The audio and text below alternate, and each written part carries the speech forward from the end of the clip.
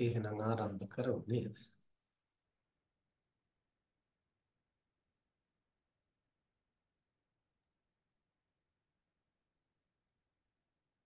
පූජ්‍යපාද ආචාර්ය කුකුල්පනේ සුදස්සී ස්වාමින් වහන්සේ සෙනසුරාදා සවස අන්තර්ජාලය ඔස්සේ පවත්වනු ලබන සජීවී ධර්මදේශනා සහ සාකච්ඡා මාලාවට අද දින පැමිණි ගිහි පැවිදි පින්වත් ඔබ සැම සතුටින් පිළිගනිමි. පසුගිය සති තුනක් පුරාවට අප ස්වාමින් වහන්සේ දස පාරමිතා යන මාතෘකාව ඔස්සේ අපහට ධර්මයේ දේශනා කළා.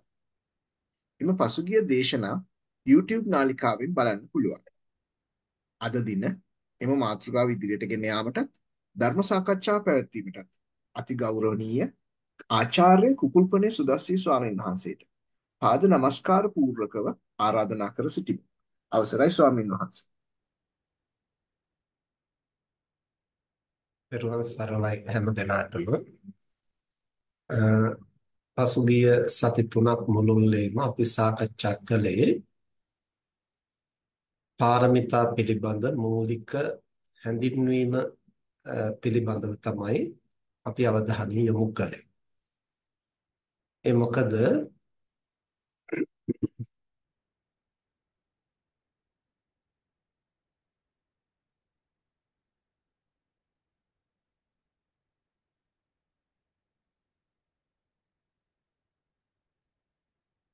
ඒ මොකද අපට එකවරම පාරමිතා පැහැදිලි කිරීමට ගියොත් එහි අවශ්‍යතාවය අපට හරියට මනසට දැනිලා නැතිනම් ඒක ග්‍රහණය කරගන්නට අපහසු වෙන නිසා තමයි අපි සති තුනක් පමණම පාරමිතා කියන්නේ මොනවද? ඒවා සම්පූර්ණ කිරීමේ අවශ්‍යතාවය මොකක්ද? ඒ වගේම පාරමිතා සහ බෝධිපාක්ෂික ධර්ම අතර තියෙන සම්බන්ධතාවය මොකක්ද? ඒ වගේ මේ පාරමිතා පිරීමේදී අපි සැලකිලිමත් වේ යුතු අවධානය යොමු කළ යුතු කරුණු මොනවද? මේ ආදී කාරණා අපි සති තුනක් මුළුල්ලේම කතා බහ කළා. අද දවසේ අපි ආරම්භ කරන්නට සූදානම් වෙන්නේ දාන පාරමිතාව. මේ පාරමිතා 10 පළවෙනි දාන පාරමිතාව පිළිබඳ කරුණු පැහැදිලි කිරීම ආරම්භ කරන්න අපි අද සූදානම් වෙන්නේ. පසුගිය සති දෙකක් පමණ අපිට ධර්ම සාකච්ඡාව කරගන්නට අවකාශ නැති වුණා.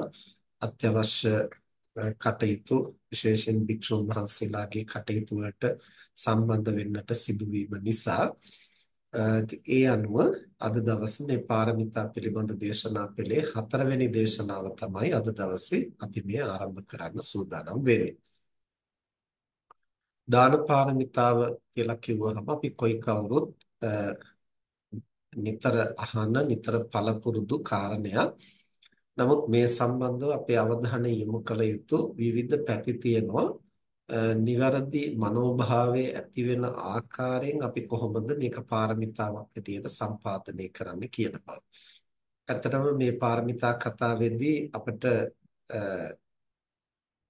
නොදන්න කාරණා නෙමෙයි අපි කතා කරන්නේ දන්නා කාරණාවලම අපි වඩාත් අවධානය යොමු කළ යුතු පැති පිළිබඳව තමයි අපි මෙහිදී විශේෂයෙන් සාකච්ඡා කරන්නේ.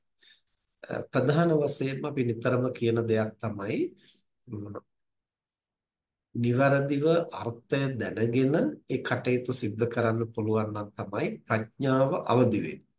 ප්‍රඥාව අවදි කරගෙන කරන කුසල ක්‍රියාව තමයි පාරමිතාවක් හැටියට නිවන් දකින්නට උපනිශ්‍රය වෙන්නේ.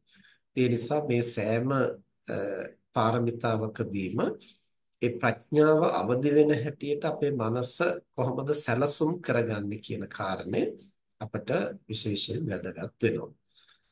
එතකොට දාන පාරමිතාව කියනකොටම අපි හුඟක් දෙනෙකුට සිහිපත් වෙන්නේ වස්තු එහෙම නැත්නම් ආහාර පාන ඇඳුම් පැළඳුම් මිල මුදල්, ගෙවල් දොරවල් ඊළඟට බෙහෙත් හේත් ආදී කෙනෙකුට ජීවිතේ පහසුවෙන් පවත්වන්නට අවශ්‍ය ද්‍රව්‍යෝපකරණ තමයි හුඟක් වෙලාවට දාන කියනකොට අපිට සිහිපත් වෙන්නේ. ඒනොත් වැඩිපුරම දාන කියනකොට ආහාර දාණය තමයි හුඟක් දෙනාට සිහියට එන්නේ. එතකොට ධර්මයේ පාරමිතාවක් හැටියට කතා කරද්දී අපිට භෞතික වශයෙන් අපි දෙන්නේ මොනවද කියන එක නෙමෙයි වඩා වැදගත් වෙන්නේ අපේ මානසික තත්ත්වය කොතනද තියෙන්නේ කියන කාරණයයි. ඒ නිසා චර්යා පිටක අට කතාවේදී දාන පාරමිතාව පැහැදිලි කරනකොට දක්වන්නේ කරුණෝපාය කෝසල්ල පරිග්‍රහිතා අතූපකරණ පරිත්‍යාග චේතනා දාන පාරමිතා. මේ මහබෝසත්වරුන්ගේ දාන පාරමිතා විග්‍රහ කරනකොට අපි විශේෂයෙන් පහුගිය අවස්ථාවලත් කතා කළා කරුණාව සහ උපාය කෞශල්‍ය කියන මේ දෙකම ප්‍රධාන වෙනවා. ඉතින් අවශේෂ පාරමිතාවන් පුරන අයට කරුණාව ප්‍රධාන කාරණයක් නොවුනත් ඒ කරුණාව ඇති ඇති පමණට තමයි අපිට අපි පුහුණු කරන ಗುಣධර්මය සමාජයට හිතවාදීව අන් අයට යහපතක් වෙන හැටියට ඒ ගුණය ප්‍රගුණ කරන්නට පුළුවන්කම තියෙනවා. ඒ නිසා කරුණාව කියන එක සෑම දිනාටම පුරුදු පුහුණු කළ යුතු ගුණයක් වෙනවා. මහබෝසත්වරුන්ගේ පාරමිතාවේ කරුණාව මූලික වෙනවා ප්‍රධාන කාරණයක් වෙනවා. මහා කරුණාව සහ මහා ප්‍රඥාව උන්වහන්සේලාගේ පාරමිතාවේ පදනම වෙන නිසා. එතකොට කරුණෝපාය කෞශල්‍ය කියලා කිව්වහම කරුණාව සහ උපාය කෞශල්‍ය පරිග්‍රහිතා කියලා කියන්නේ පරිපූර්ණව. එහෙම නැත්නම් ඒන් යුක්තව කියන අර්ථයයි. එතකොට උපාය කෞශල්‍ය කියන්නේ මොකක්ද කියන බව අපි පහුගිය දේශනවල නැවත නැවත කතා කළා. මූලික පරමාර්ථය හඳුනාගෙන ඊට අදාළ සාධක මොනවද බාධක මොනවද? ඒ අවස්ථාවෝචිතව බාධක මැඩපවත්වමින් සාධක මතු කරමින් අපි කොහොමද ඒ පරමාර්ථය තෙක් අපේ ගමන ඉදිරියට යන්නේ කියන ඒ උපායශීලී බව තමයි උපාය කෞශල්‍යය කියලා හඳුන්වන්නේ. එතකොට මෙන්න මේ කියන ආය කෞශල්‍ය, අපාය කෞශල්‍ය, උපාය කෞශල්‍ය කියන මේ කෞශල්‍යයන්ගෙන් යුක්තව අත්ූපකරණ පරිත්‍යාග චේතනා තමන් සන්තක වූ යමක් තව කෙනෙකුගේ යහපත වෙනුවෙන් පරිත්‍යාග ත්‍යාග කිරීමේ චේතනාව දාන පාරමිතා කියලා කියන්නේ. එතකොට වඩා වැදගත් වෙන්නේ මේ චේතනාවයි. අපේ අපේ ඇති අපේ හිතේ ඇති වෙන මානසික తত্ত্বය, මනෝභාවය. අපි ඒ ක්‍රියාවට මූලික වෙන්නේ කොහොමද කියන කාරණය. දැන් චේතනාව පිළිබඳව අපි පසුගිය අවස්ථාවල කතා බහ කළා. යම් යම් දේවල් දන්නවා නොදන්නවා කියන කාරණයට වඩා අපි ඒ අවස්ථාවේ අපේ කය වචනය සිත හසුරවන්නට මූලික වෙන මානසික වේගය. එහෙම නැත්නම් ක්‍රියා සාධක බලය. දැන් Taman සන්තක වස්තුවක් අපි තව කෙනෙක් අතට දෙන්න අපේ අතපය ක්‍රියාත්මක වෙන්නට ඕනේ වස්තුව අපි දෑතින් අරගෙන අනිත් කෙනා වෙත පවරන්නට පරිත්‍යාග කරන්න. එහෙම නැත්නම් අපි සන්තකව තිබුණු දේ අපේ ළඟින් අනිත් කෙනා වෙතට පමුණුවන්නට අපේ කය අපි හසුරවන්නට ඕනේ. එතකොට අන්න ඒ අවස්ථාවේ කය හසුරවන ක්‍රියාවලිය මොන විදිහේ චේතනාවකින්ද සක්‍රිය කරන්නේ. ඒ අනුව තමයි අර අතපය හසුරුවලා අපි සන්තකදී අනිත් කෙනා වෙත පැවරීම තුළ අපි ජනිත කරගන්නා මානසික தত্ত্বය කුසලයක්ද එහෙම නැත්නම් ඒක දාන ඒක පාරමිතාවක්ද එහෙම නැත්නම් ඒක වට්ටගාමිනී කුසලයක්ද කියලා තීරණය.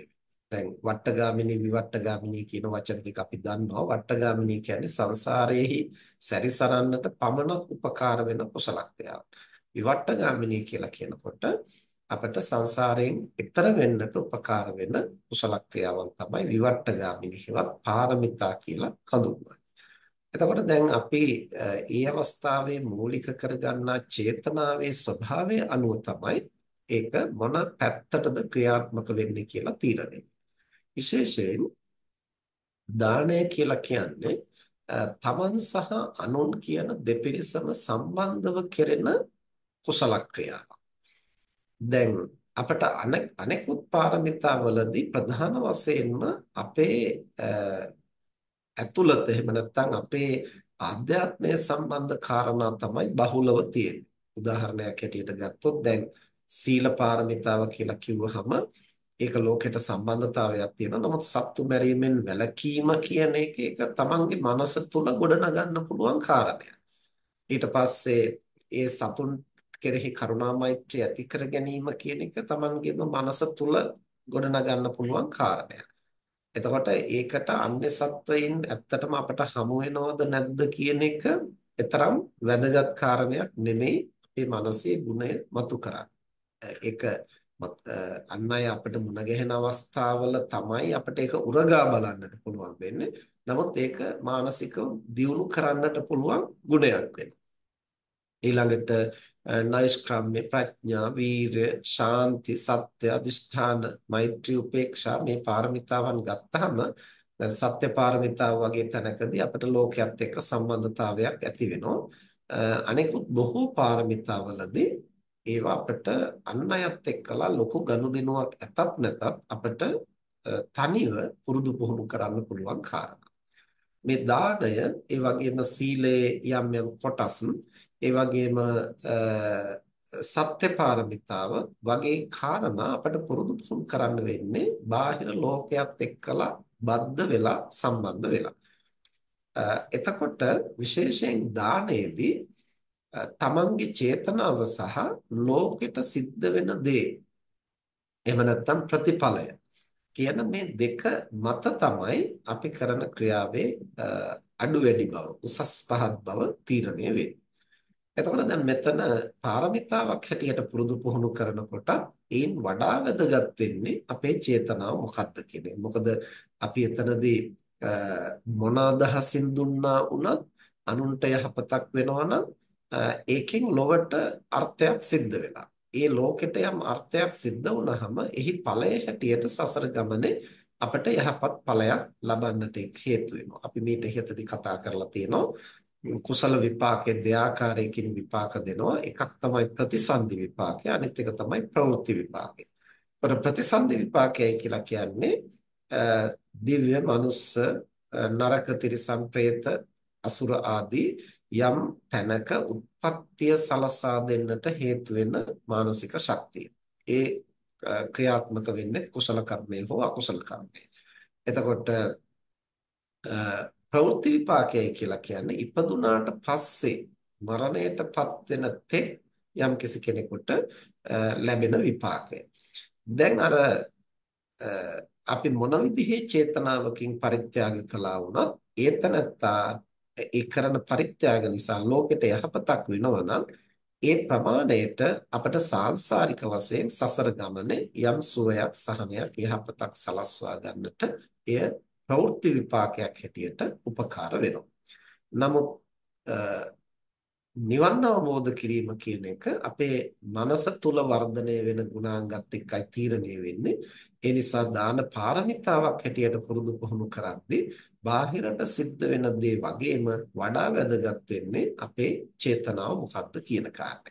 දැන් මේක අපිට හොඳට පැහැදිලි වෙන තැනක් තමයි අපේ මහබෝසතාණන් වහන්සේ තමන්ගේ දරුවන් දන් දෙනකොට දන් දුන්නේ කිසිම ගුණයක් නැති සදාචාරයක් නැති සීලයක් තියනවායි කියලා අපිට කොහොමවත් හිතන්නට බැරි දුෂ්ට ගති ඇති පුද්ගලයෙක් වෙත තමයි ඒ දරුවන් බාර දෙන්නේ. එතකොට ওই ඔක්කොම වචන අපි පාවිච්චි කළේ ඒ ජූජක බමුණ පිළිබඳව ඒ ජාතක කතාවේ කියවෙන කරුණු අනුව. එතකොට ඒ තනත්තා අර කුඩා දරුවන්ට වද දීලා, තලලා, පෙලලා, බියවද්දලා, හිංසා කරමින් එහෙම තමයි අරයි යන්නේ. එතකොට එහෙම කරුණාවක් ඇති, මෛත්‍රියක් ඇති, සීලයක් ඇති, ගුණයක් ඇති චරිතයක් හැටියට පෙනෙන්නේ නැහැ. එතකොට ඒ වගේ මිනිස්සෙකුට දැන් මේ දරුවන් දෙන්න දන් දෙන්න. දැන් බුදුරජාණන් වහන්සේම දේශනා කරනවා දානයක් දෙනකොට සිල්වතුන් උදෙසා දීම, ගුණවතුන් උදෙසා දීම මහත් ඵලගෙන දෙනවා.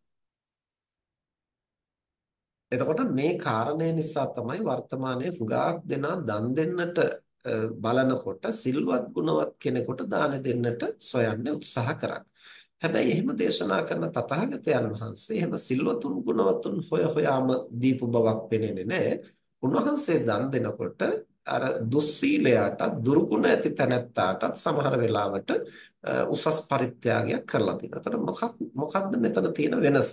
ඒ වෙනස තමයි තථාගතයන් වහන්සේ දේශනා කරන්නේ ඒ සිල්වතුන්ට ගුණවතුන්ට දීම කියන කාරණය සාපේක්ෂව බලනකොට වඩා උසස් අවස්ථාවක්. ඒ කියන්නේ දුස්සීලයට දෙනවට වඩා දුර්ගුණ ඇති පුද්ගලයාට දෙනවට වඩා සිල්වතාට ගුණවතාට දීම මහත් ඵලදායකයි. හැබැයි ඒ ඵලය වඩා උසස් විදිහට Tamanට ලැබෙන්නේ සසර පැවැත්ම තුලයි.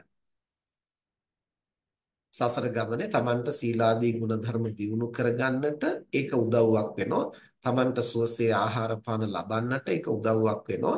අර වඩා සිල් ඇති ගුණ ඇති කෙනෙකුට ඒක දුන්නහම Tamanට ලැබෙන ප්‍රතිලාභය වඩා උසස් හැබැයි ඒ අපි දෙන්නේ සීලවන්තයාටද අපි දෙන්නේ දුස්සීලයාටද කියන කාරණයට වඩා අපේ චේතනාව කොතනකද තියෙන්නේ අපි මොන විදිහේ ප්‍රඥාවකින්ද ඒක කරන්නේ මොකක්ද අපේ ඉලක්කය කියන කාරණය මත තමයි ඒ මානසික తත්වය නිවනට කොතෙක් දුරට උපකාර වෙනවද නැද්ද කියන එක තීරණය. මේක අපි පරිස්සමෙන් තේරුම් ගන්න ඕන කාරණයක්. දුස්සීලයට දෙනවට වඩා සීලවන්තයාට දීම වඩා උසස් වෙන්නේ සසර ගමනේ අපට ඒකෙන් යහපත් ප්‍රතිලාභ ප්‍රතිවිපාක ලැබීම කියන කාරණේ. හැබැයි කෙලස් නැසීම අත්හැරීම තමන්ගේ මානසික දුර්වලකම් ප්‍රහාණය කිරීම Tamanගේ ಗುಣ අවදි කර ගැනීම කියන මේ කාරණේදී වඩා වැදගත් වෙන්නේ අපි කොහොමද සිතන්නේ කොහොමද කල්පනා කරන්නේ කියන කාරණේ. දැන් ඒකෙන් අදහස් කරන්නේ සිල්වතුන්ට ගුණවතුන්ට නොදුන්නට කමක් නැහැ කියන එක නෙමෙයි. දැන් වර්තමානයේ අපි දකිනවා සමාජයේ හුඟක් මේ කාරණා පටලවාගෙන තියෙනවා. දැන් සමහරු ප්‍රශ්නයක් හැටියට මහනවා. මේ ඊයේ පෙරේදත් කෙනෙක් අපෙන් ඇහුවා. Taman ළඟ තියෙන එක බත්පතක් නම් එතකොට බුදුහාමුදුරුවන්ට ඒක පූජා කරන එකද වඩා සුදුසු දුගියෙක් ඉන්නවා නම් ඛණ්ඩ නැති අසරණයෙක් ඉන්නවා නම් ඒ මනුස්සයාට දෙන එකද වඩා සුදුසු දැන් මේ ප්‍රශ්නේදී හුඟක් දෙන ඒකාන්තික පිළිතුරු තමයි අපේක්ෂා කරන්නේ නමුත් බුදුදහමේ එහෙම කියන්නේ අසරණයාට දෙන්න ඕන අනුකම්පා බුද්ධියෙන් ඒ වගේම Taman හා සමාන අයට දෙන්නට ඕන අනුග්‍රහ බුද්ධියෙන් සිල්වත් ගුණවත් උතුමන්ට දෙන්න ඕන පූජා බුද්ධියෙන්. ඒකට අවස්ථා තුනක් දක්වලා තියෙනවා. ඒ නිසා යම්කිසි කෙනෙක් කියනවා නම් බුදුහාමුදුරුවන්ට පූජා කරන්න නැතුව දුගියාට දෙන එකයි සුදුසු කියනවනම් ඒක නිවැරදි ප්‍රකාශනයක් නෙවෙයි. දුගියාට නොදී බුදුහාමුදුරුවන්ට දිය යුතුයි කියලා කියනවනම් ඒකත් නිවැරදි ප්‍රකාශනයක් නෙවෙයි. ඇයි අපි එක පැත්තයි දකින්නේ එතන. එක අන්තයකටයි අපේ මනස බර එතකොට බුදුහාමුදුරුවන්ට පූජා කිරීම හොඳයි. හැබැයි දුගියාට නොදී ඉන්නේ කුමක් නිසා? දුගියාට දීම හොඳයි. හැබැයි බුදුහාමුදුරන්ට පූජා නොකර ඉන්නේ කුමක් නිසා? එතනයි වැදගත් කාරණේ අපි විමසන්නට ඕන කාරණේ. ඒ නිසා වඩා බුද්ධිමත් කෙනෙක් නම් බුදුරජාණන් වහන්සේටත් ඒකෙන් යම් කොටසක් හෝ පූජා කරලා දුගියාගේ කුසගින නිවන්නට ක්‍රියාත්මක වෙන්න පුළුවන්. එහෙම නැත්නම් එතන එච්චර එහෙම දුගියාටත් දෙන්නට තරම් දෙයක් නැතිනම් ඒක බුදුරජාණන් වහන්සේට පූජා කරලා දුගියාට කුසගින නිවා ගන්නට වෙන ක්‍රමයක් සකසලා දෙන්නට පුළුවන්. ඒ කවර හෝ ක්‍රමයකින් ප්‍රඥාවන්තයා අවස්ථාව හඳුනාගෙන පූජා කළ යුතු ගරු කළ යුතු අවස්ථාව හඳුනාගෙන ඒ පූජාව ගෞරවය කරනවා අනුග්‍රහ කළ යුතු අනුකම්පා කළ යුතු අවස්ථාව හඳුනාගෙන ඒ අනුකම්පාවෙන් අනුග්‍රහයෙන් කටයුතු කරනවා. එතන තමයි මනසේ ගුණය වැඩිලාද නැද්ද කියලා හඳුනා ගන්න තියෙන තැන. දැන් මේවා වාදයකට හෝ තර්කයකට නෙමෙයි. දැන් බුදුහාමුදුරන්ටද පූජා කළ යුත්තේ දුගියාටද පූජා කළ යුත්තේ කියන එක අපි වාද කළා කියලා අපි නිවන් දකින්නේ අපි කෙලස් නසන්නේ අපි භව ගමන නිම කරන්නේ අපිට වැදගත් වෙන්නේ අපේ මනස එතනදි කොහොමද වැඩ කරන්නේ කියන එකයි අපිට වැදගත් ඒ ගැනයි අපි සැලකිලිමත් ඒ නිසා මේ මේ මේ පාරමිතා කතාවේදී අපි Tamanට වඩා අවංක වෙන්නට ඕන. උජූච සූජූච ලෝකයේ සමග ගනුදෙනු කිරීමේදී අපිට ලෝකයාට හෙලි කරන්න පුළුවන් දේවල් තියෙනවා බැරි දේවල් තියෙනවා ඒක අපි අවස්ථාවත් එක්ක තේරුම් අරගෙන යවංක භාවයේ පවත්වා ගන්න. හැබැයි තමන්ගේ හෘද සාක්ෂියත් එක්කලා කටයුතු කරනකොට තමන් සම්පූර්ණයෙන්ම තමන්ට අවංක වෙන්න ඕන විවෘත වෙන්න ඕන තමන්ගේ බල දුබලතා හරියට තේරුම් ගන්න. එතෙන්දී අපි මේ ලෝකෙට පෙන්නලා මම මෙච්චර මෙහෙම කළේ හැබෑම පාරමිතාවක් හැටියටයි. මං එතනදි වඩා සද්ධාව නිසායි මෙහෙම කළේ. මං එතනදි වඩා අනුකම්පාව නිසායි මෙහෙම කළේ. ඒ කතන්දර නෙමෙයි මෙතනදි වැදගත් අපිට වැදගත් වෙන්නේ අපි හිතියේ මොන විදිහේ අදහසක් තුලද එතකොට ඒ අවස්ථාවේ මගේ චිත්තසංතානයේ ඒ දාණයට අදාළ ගුණාංග નિවරදිව වැඩුණද නැද්ද? එතන තමයි අපිට වඩා වැදගත් වෙන තැන. උදාහරණයක් හැටියට මම මීට පෙර දිනකත් සිහිපත් කළා. එක් අවස්ථාවක අපේ විහාරස්ථානයේ පොය දවසට පැමිණෙන උපාසක උපාසිකාවන්ට උදේට දානේ දවල්ට දානේ උදේ සහ හවස ගිලම්පස මේ සියල්ලක්ම දායක පිරිස බාරගෙන ඒ අවස්ථාවට ඒවා සම්පාදනය කරනවා. එතකොට සෑම මාසෙකම තුන්වෙනි සෙනසුරාදාට උදේ ඉඳන් හවස වෙනකම් භාවනා වැඩසටහනක් තියෙනවා. නායක හඳුරු එක මෙහෙවන්නේ. එතකොට ඒ වැඩසටහනටත් විශාල පිරිසක් සහභාගී වෙනවා. ඒ අයටත් උදේ දාණය, දවල් දාණය, උදේ ගිලන්පස, හවස ගිලන්පස දායක පිරිස බාරගෙන ඒ අය සම්පාදනය කරනවා. එක්තරා දවසක භාවනා වැඩසටහන උදේ සිල් සමාදන් කරලා පටන් ගත්තා. නමුත් උදේ දානේ ඒ දායක බාරගත්තු දායක පිරිස ගෙනල්ලා නැහැ. කොහොම හරි එතන sannivedana ගැටලුවක් ඇති වෙලා හරි මොකක් හරි හේතුවක් නිසා ඒ අය සම්බන්ධ කරගන්නට බැරි වෙලා හරි කවර හෝ හේතුවකින් දැන් අර සිල්ගත්තු පිරිසට දාන්නේ නැහැ. දැන් ස්වාමීන් වහන්සේලාට උදේ දානෙ ගෙනල්ලා තිබුණා දානශාලාවේ තැන්පත් කරලා දැන් අපේ පන්සලේ කරන්නේ දානෙ ගෙනාවට පස්සේ බුද්ධ පූජාව බෙදලා පූජා කරලා ඊට පස්සේ අනිත් දානෙ ටික උපසම්පදා ස්වාමීන් වහන්සේ නමක් අතට ඔක්කොම ටික පිළිගන්නනවා ඊට පස්සේ අනිත් ස්වාමීන් වහන්සේලා හැමෝටම තමන් කැමති විදිහට තමන්ට අවශ්‍ය ප්‍රමාණය පමණක් බෙදාගෙන වළඳන්න පුළුවන්. එතකොට එක් එක්කෙනා දායකයෝ ඇවිල්ලා බෙදන්න ලොකු පිරිසක් ඕනෙත් නැහැ. උපස්ථාන කරන්න ලොකු පිරිසක් ඕනෙත් නැහැ. එතකොට ඉන්න කවුරුත් නොහිටියා වුණත් අර දායකයෙකුට හරි එහෙම නැත්නම් සාමණේර හාමුදුරුවන්කට හරි කියලා දානෙ ටික පිළිගන්නවා ගත්තට පස්සේ උපසම්පදා ස්වාමින් වහන්සේලාටම තමන් බෙදාගෙන අවශ්‍ය ප්‍රමාණය වළඳන්නට පුළුවන් විනයාන. ඒ නිසා තමයි එහෙම කරන්නේ. දැන් දානෙ පිළිගන්වලා තිබුණා. දැන් මම දානශාලාවට ගිහිල්ලා දානෙ ටික බෙදා ගන්න ලෑස්ති වෙනකොටම නායක හාමුදුරුවෝ කිව්වා අද භාවනා වැඩසටහනට ආපු පිරිසට උදේ දානේ සැකසিলা නැහැ කොහොම හරි සම්බන්ධ කරගන්න බැරි වෙලා ඒ දායක මහත්තයා ඒ නිසා අද ඒ පිරිසට දාන්නේ නැහැ දැන් මේක කියනවා මට ඇහුණා. ඇහුණා වුණත් මම එහෙමම මොකුත්ම නොයහුණා වගේ මම ගිහිල්ලා දානේ ටික බෙදාගෙන ඇවිත් වාඩි වුණා වළඳා. එතකොටම එතන හිටපු ගිහි තරුණ මහත්මේ ඒ මහත්මයා කිව්වා නායක හම්දුන්නේ එහෙනම් මේ දැන් මොකද කරන්නේ? අපි එහෙනම් පාන් ටිකක් හරි ගෙනල්ලා දෙමු දේගොල්ලන්ට. මම ඉක්මනට ගෙදරට පණිවිඩයක් දෙන්නම් මොකක් හරි හොද්දක් හදන්න කියලා අපි ඉක්මනට එහෙනම් පාන් ටිකක් ගෙනල්ලා ඒගොල්ලන්ට උදේ දානේ සකස් කරලා දෙමු කියලා. ඉතින් ඒ අවස්ථාවේ මට හිතුණා දැන් මට ඒ අදහස ආවේ නැහැ.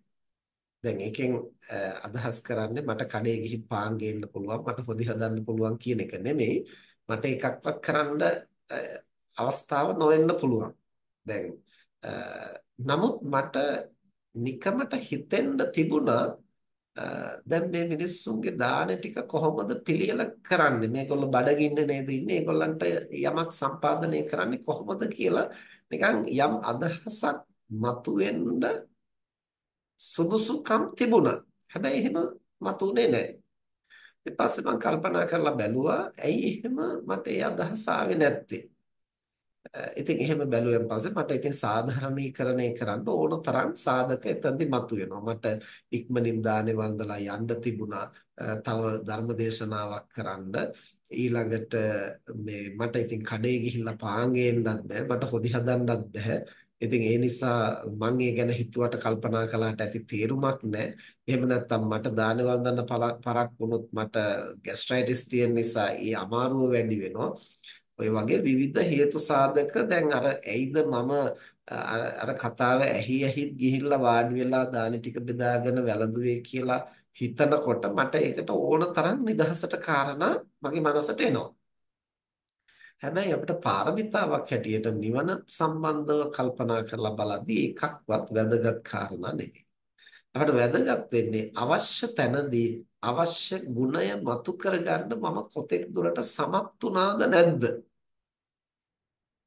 එතකොට එතනට යෝග්‍ය පරිදි ඒ ගුණය මතුනේ නැත්නම් ඒක දුර්වලකම.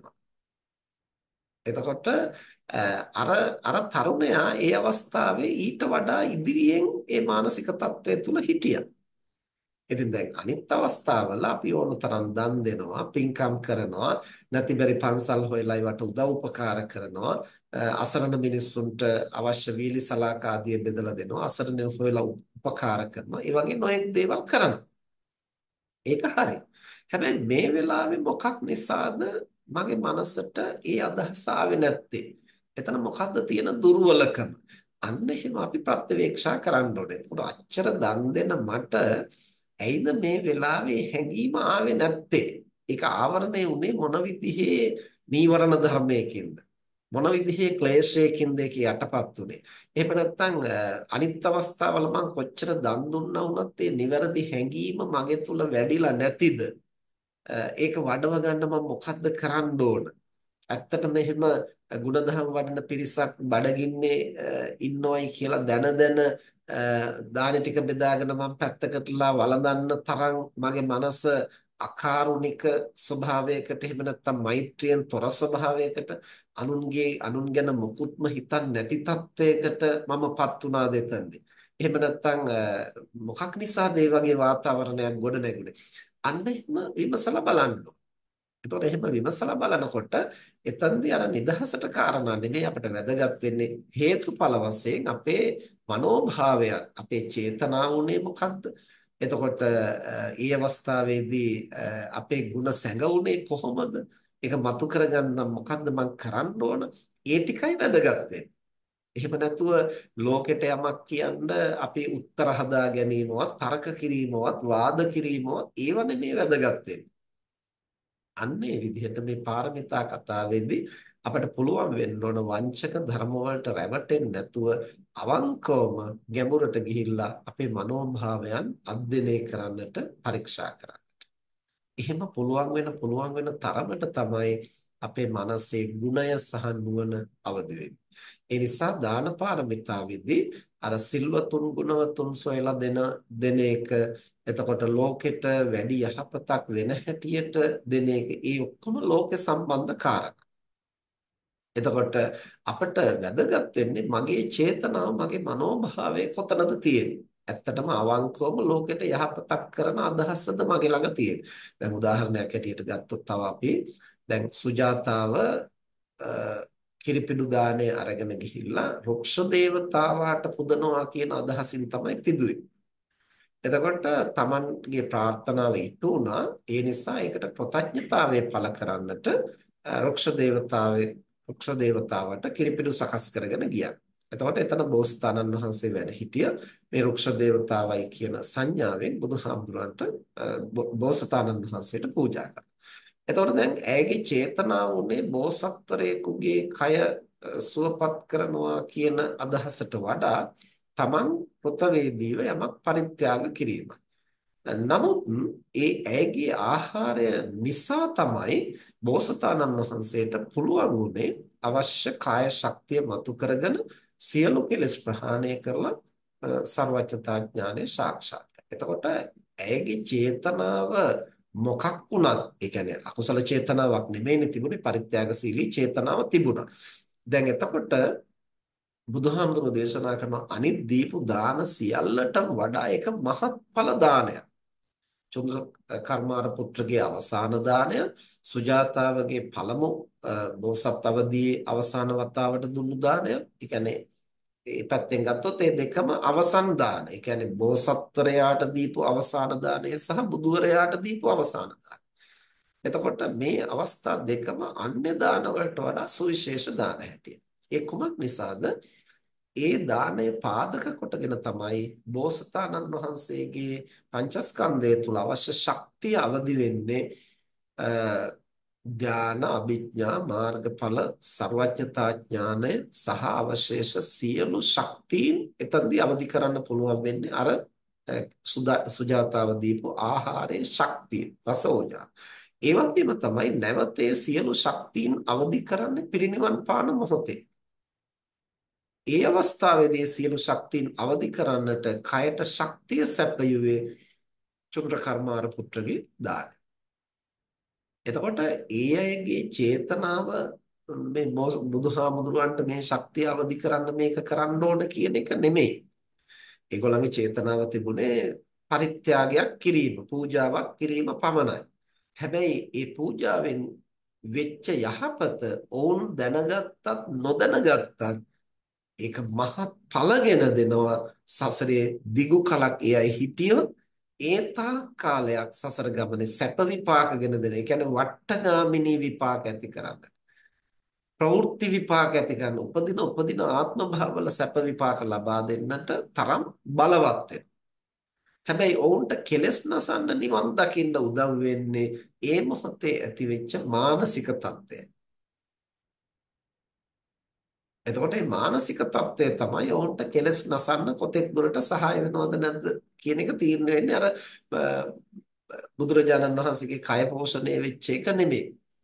එතකොට යම් කිසි කෙනෙකුට සිල්වතුන්ට ගුණවතුන්ට දීමේදී ඒක දෙවිධයකින් මහත්ඵල කරගන්නට ඕන නම් පුළුවන් ප්‍රඥාව තියෙනවා. එකක් තමයි අපි කරන පූජාවෙන් ඒ සිල්වතාගේ ගුණවතාගේ කය පෝෂණය වෙලා උන්වහන්සේට සීලාදී ගුණධර්ම දියුණු කරගන්නට අවශ්‍ය ශක්තියක් ලැබෙනවා. ඒක අපි හිතුවත් නැතත් දාන ටික දුන්නාම ඒක කෙරෙනවා.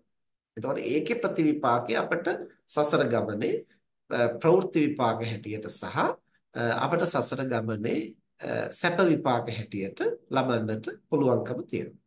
හැබැයි අපි දැනගෙනම මේ සිල්වතෙක් මේ ගුණවතෙක් මම උන්වහන්සේට උදව් කරන්නට ඕන උන්වහන්සේගේ සීලාදී ගුණ දියුණු කරගන්න. උන්වහන්සේ සීලාදී ගුණ ධර්ම දියුණු කරගන්න මේ වෙලාවේ මට පුළුවන් උපරිමයෙන් මම සහාය වෙන්නට ඕන කැප වෙන්නට ඕන කියලා අර සීලය දැනගෙන අර ගුණය දැනගෙන ඒ වෙනුවෙන් ලොකු පරිත්‍යාගයක් නම් කළේ කැපකිරීමක් නම් කළේ අන්නේ මානසික தત્ත්වයේ ඒතනත්තාට ඍජුවම අරහත්ත්වය සඳහා හේතු වෙනවා ඒ චේතනාවට බලපාපු අර ගුණාකට එතකොට දැන් ඒකම අපි අනිත් පැත්තට අරගෙන බැලුවොත් දැන් බෝසතාණන් වහන්සේ අර කිසි සීලයක් නැති ගුණයක් නැති ජූජක බමුණට තමයි තමන්ගේ දරුවෝ දෙන්න දෙන්නේ. ඇයි දරුවෝ ඉල්ලගෙන යන්නට කවදාවත් මේ සිල්වතුන් ගුණවතුන් එයි කියලා බලාපොරොත්තු වෙන්න බෑ. ඊළඟට ශරීරයේ ලේ ඉල්ලන්න හිස ගලවලා ඉල්ලන්න සිල්වතුන් ගුණවතුන් එනකම් බලා හිටියොත් එතකොට උන්වහන්සේට ඒ අවශ්‍ය මනෝභාවයන් අවදි කරන්නට අවකාශයක් නැහැ. ඒ නිසා එතනදී උන්වහන්සේ කරන්නේ ඒ Tamanගේ මානසික తত্ত্বය මතු කරගෙන ඒ අදාළ කාර්ය කරන්න පුළුවන් තැනක් ආවන් පස්සේ ඒක කරනවා. එතකොට කෙනෙක්ට හිතෙන්න පුළුවන් එතකොට දරුවෝ ගැන අනුකම්පාවක් තිබුණ නැද්ද? නෑ දරුවෝ ගැන අනුකම්පාවක් නැති බව නෙමෙයි දරුවෝ ගැනත් කරුණාවෙන්ම තමයි මේ කටයුත්ත කරන්නේ. මොකද්ද දරුවෝ ගැන කරුණාව? ඒගොල්ලෝ ඇවිත් තියෙන්නේ සාංශාරික වශයෙන් බෝසතාණන් වහන්සේට දාන පාරමිතාව සඳහා අපි යම් භවයක පුත්‍රයින් හැටියට ඇවිදින් උන්වහන්සේගේ දාන පාරමිතාවට සහාය වෙනවා කියන පැතුම් ඇති කරගෙන එතකොට මේ බෝසත්තුරුත් එක්කලා සම්බන්ධ වෙන අවශේෂ ශ්‍රාවකීන්ගේ එක් එක් ප්‍රාර්ථනා ඒවා මේ බෝසතාණන් වහන්සේ කියවලා ප්‍රාර්ථනා කරනවා නෙමෙයි.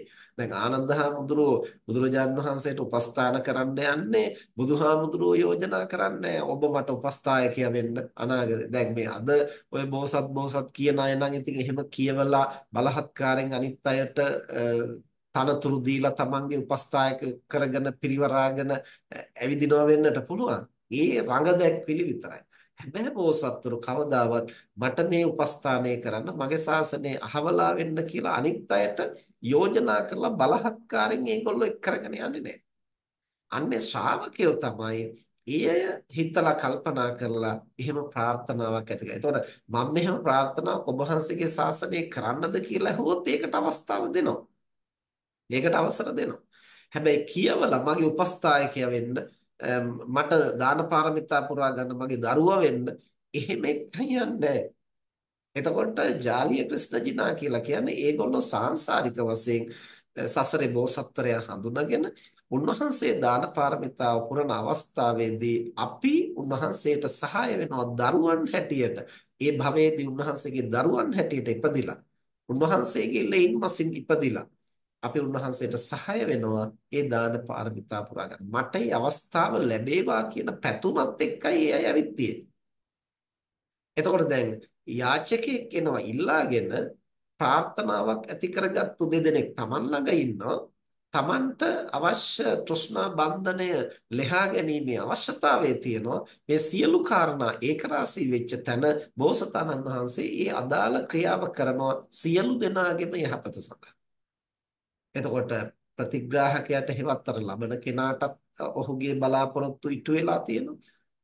ඊට පස්සේ අර ප්‍රාර්ථනා කරගෙන ආපු ඒ දාණයට අනුග්‍රහ කරන්නට ආපු දාන වස්තුන් හැටියට එතනදී ඉදිරිපත් වෙන ඒ දරුවන්ගේ සසර ප්‍රාර්ථනාවටත් යහපතක් වෙලා තියෙනවා. තමන් වහන්සේගේ මානසික ගුණයත් අවදි වෙලා තියෙනවා. හැබැයි ඒත් එක්කලාම අර දරුවන්ට තියනවා සාංශාරික වශයෙන් මේ ප්‍රාර්ථනාවත් එක්කලා ඇවිදින් මහා කුසල් කරගත්තු නිසා අර වගේ තව කෙනෙක් ළඟ ගිහිල්ලා දාසකම් කරන්නට තරම් අකුසල කර්මයක් නැහැ. එහෙම නැති වෙනකොට ඒගොල්ලන්ගේ කර්ම වේගය එතනින් මතුවෙලා ඒක වෙනස් ක්‍රමයකට විසඳනවා. ඒක බෝසතාණන් වහන්සේට අදාළ නැහැ. ඉතින් මෙන්න මේ වගේ අපි ලෝකයේ පිළිබඳව දකිනකොට අපට ලෝකයට උදව් කරන්න පුළුවන් විදිහ මොකද්ද? ඒ උදව්ව අපි දැනගෙන නම් කරන්නේ. තේරුම් අරගෙන නම් කරන්නේ. දැන් අපි හිතමු මොකක් හරි අපි දෙයක් කළාන් පස්සේ මොකක් හරි දෙයක් දුන්නාන් පස්සේ ඒකෙන් තව කෙනෙකුට යහපතක් වෙනවා දැකලා අනේ හොඳයිනේ මම දීපු දෙයින්නේ යහපත සිද්ධ වුණේ කියලා හිතුවා වුණත් ඒකත් ලොකු යහපතක්. දැන් සුජාතාව දානෙ දුන්නේ රුක් දෙවියාට කියලා හිතාගෙන උනාට පස්සේ හරි එතුමිය දැනගත්තනේ මේ බෝසත්වරයෙකුටයි දුන්නේ උන්වහන්සේ මගේ දීපු දාන ටික වළඳලායි බුදු වුනේ කියලා. එතකොට අපර චේතනාව දැන් పూర్ව චේතනාව ඇයට සකස ගන්න දැනුම නැහැ. මුංචන චේතනාව දෙන අවස්ථාවේදී ඒකට අවශ්‍ය මග සැකසিলা නැහැ. හැබැයි අපරචේතනා හැටියට එතුමිය මේ මම දීපු දාන ටික වළඳලා තමයි මේ තථාගතයන් වහන්සේට බුද්ධත්වයට පත් වෙන්න පුළුවන් උනේ ඒ ශක්තිය ලැබුණේ කියලා ඒක දකිනකොට හිතනකොට ඒ ගැන නැවත නැවත සතුටු වෙමින් අනුමෝදන් වෙනවා. එතකොට ඒ සම්බන්ධ කුසල චේතනා වැඩෙනවා. එතකොට චුන්ද කර්මාර පුත්‍ර කරුණා මෛත්‍රියෙන් දානෙ දුන්නා. හැබැයි පස්සේ උන්වහන්සේට ලේ අතිසාර රෝගය උත්සන්න වුණා. එතකොට ඒකෙන් ඔහුගේ දාන චේතනාවට යම් හානියක් වෙයි කියලා තමයි බුදුරජාණන් වහන්සේ ආනන්ද හැඳුනට කතා කරලා කියන්නේ. ආනන්ද ඔබ යන්න ගිහිල්ලා චුන්ද කර්මාර පුත්‍රට කියන්න. ඔහු තථාගතයන් වහන්සේට දීපු දාණය වළඳලා තථාගතයන් වහන්සේ මේ මේ ධාන සමාපatti වලට සමවදිනවා. ඒ නිසා අන් සියලු දාන වලට වඩා සුජාතාවගේ කිරිපිඩු දානයත් චුන්ද කර්මාර පුත්‍රගේ මේ අවසන් දානයත් මහත් ඵලදායකයි කියන බව ගිහින් ඔහුට මතක් කරන්න. එයි මතක් කරන්න කිව්වේ දැන් සුජාතාවට ඒක මතක් කරන්න අවශ්‍යතාවයක් නැහැ. ඒ පසු ඒක දකිනකොට දකිනකොට හිත සතුටු කරගන්න. හැබැයි චුන්ද කර්මාර පුත්‍රට යම් අපහසුතාවයකටපත් වෙන්න පුළුවන් අනිත් අය චෝදනා කරන්න පුළුවන් ඔබ දීපු දානේ වන්දලා තමයි බුදුහාමුදුරුවෝ පිරිනුවම් පෑවේ ඒ දානෙන් තමයි බුදුහාමුදුරුවෝ ලේ අතිසාරේ වැඩි උනේ මෙහෙම කියලා ඔහුගේ හිත කඩා වැටෙන්නත් පුළුවන්. ඊට කලින් තමයි බුදුරජාන් වහන්සේ දේශනා කරන්නේ ආනන්ද හඳුනට ගිහිල්ලා ඔහුට දැනුවත් කරන්න මේක එහෙම දෙයක් නෙමේ. තථාගතයන් වහන්සේගේ කර්ම වේගය උන්වහන්සේ භුක්ති විඳිනවා. නමුත් චුන්ද්‍ර කර්මාර පුත්‍ර කරුණා මෛත්‍රියෙන් දීපු දාණය මෙන්න මේ වගේ යහපත පිණිස හේතු ඒ අර මනස සකස් කරන්න. දැන් මේ වගේ පෙනුතුනේ අපි දීපු දාණය නිසා යම්කිසි යහපතක් ලෝකෙට සිද්ධ වෙනකොට ඒහා සමාන යහපත් ඵලයක් අපට සාංශාරිකව ලැබෙනවා. හැබැයි අපේ චේතනාව, අපේ මනෝභාවය කොතනද තියෙන්නේ? ඒ කරන ක්‍රියාවේදී අපේ ගුණය, අපේ නුවණ කොපමණකින්ද වැඩෙන්නේ? ඇත්තටම අපේ චේතනාව තුළ අදහසක් තියනවද අනිත් කෙනාගේ කුසගිනි නිවලා සුවපත් කරන්න. අන්නේ ප්‍රමාණයටයි අපේ ගුණ නුවණ අවදි ඒ වගේ මේ දාන දෙන වෙලාවේ අපට අදහසක් තියද මේ ස්වාමින් වහන්සේ මේ දාන ටික වළඳලා සුවසේ ගුණධම් වඩත්වා සුවසේ උන්වහන්සේට ධර්මය අවබෝධ කරගන්න මේ මගේ දාන ටික උපකාර වේවා කියන අදහසින්ද මේක කරන්නේ අන්න එහෙම කරනවා නම් තමයි ඒක වඩා උසස්. දැන් අපි අපි මේක වාක්‍ය වශයෙන් වචන වශයෙන් කියන්න උත්සාහ කරනවා. මුලදී එහෙම හරි කමක් නැහැ. දැන් අපි මිනිස්සු දාන ගෙනාවන් පස්සේ මිනිස්සුන්ට බණ ටික කියනකොට ඔය කාරණා කියවලා ඒ අයට හිතන්න සලස්සනවා. ඇයි එහෙම කරනකොට කරනකොට තමයි කාලයක් යද්දී ඒගොල්ලන්ට ටික ටික මේවා ඔලුවට වැටෙන්නේ. ඊට පස්සේ තමයි ඒ විදිහෙන් හිතන්න පුරුදු ඊට පස්සේ තමයි එහෙම හිතාගෙන හිතාගෙන යනකොට තමයි ඒ ಗುಣ ටිකෙන් ටික අවදි වෙන්න පටන්. මේකට ලොකු කාලයක් ගත වෙන්න පුළුවන්. හැබැයි එහෙම ඇහුනෙත් නැත්නම් කවුරුවත් කිව්වෙත් නැත්නම් කවුරුත් උනන්දු කළෙත් නැත්නම් අපි තුල කවමදාකවත් ඒ ගුණාංග අවදි වෙන්නේ නැහැ, වැඩෙන්නේ නැහැ. ඉතින් ඒ නිසා අවසානයේ අපි යායුත්තේ අර සැබෑවටම ඒ අවස්ථාව හඳුනාගෙන එතනදි ශනිකව ඒ ගුණය අවදි වෙලා එන තැනට මේ වාක්‍ය වශයෙන් වචන වශයෙන් මම මෙතනදි මෙහෙම හිතන්න ඕන. මේක හොඳ අවස්ථාවක් මට කෙලස් නසා ගන්න කියලා එහෙම හිත හිතා කල්පනා කර කර වාක්‍ය හද හද මනස හදා ගන්න ක්‍රමයක් නෙමෙයි. අපිට එහෙම කරන්න වෙලා තියෙන්නේ මූලික ගුණය අපි තුල අවදි වෙන්නේ නැති නිසායි. ඉතින් හරියට පුරුදු පුහුණු කරනකොට ඒ සමස්ත ගුණාංග ටිකම සැනකින් අවදි වෙන්න දැන් ඊයේ අපි ධර්මදේශනාවක් තිබුණා මාතලේ කුඹියන්ගොඩ විහාරස්ථානයේ එතකොට ඒ ධර්මදේශනාවට දායකත්වයෙන් දරපු මේ මෑණියන් මම ගියාට පස්සේ ඇවිදින් වන්දනා කරලා කතා කළා. එතකොට එතුමියගේ අදහස උනේ හාමුදුරනේ මම ඔබ වහන්සේගේ ධර්මදේශනා ගොඩක් අහනවා. ඉතින් ඒවා හරිය සරලව අපිට පැහැදිලි කරලා දෙනවා. ගොඩාක් ඒවා මට ප්‍රයෝජනවත් වෙලා තියෙනවා. ඉතින් මට හිතුණා කවදා හරි ඔබ වහන්සේ වැඩමවලා බණක් කියවන්න ඕන අනිත් අයටත් හොඳට බණ ටිකක් අහන්න. ඉතින් මම මේ ධර්මදේශනාවේදී පැහැදිලි කළා ඒක තමයි සැබෑම ධර්ම දාන චේතනාව. එක එක්කෙනාට විවිධ සිතුවිලි එන්න පුළුවන්. මැරිච්ච මහත්තයාට පින් දෙන්න අම්මා තාත්තට පින් දෙන්න. එතකොට එහෙම කළයි කියලා වැරද්දක් නෙමෙයි. ඒකත් කුසල චේතනාවක් තමයි. හැබැයි කුසල චේතනාවන් අතරින් මේ මෑණියන්ට ඇතිවෙච්ච කුසල චේතනාව විශේෂයි. මොකද්ද?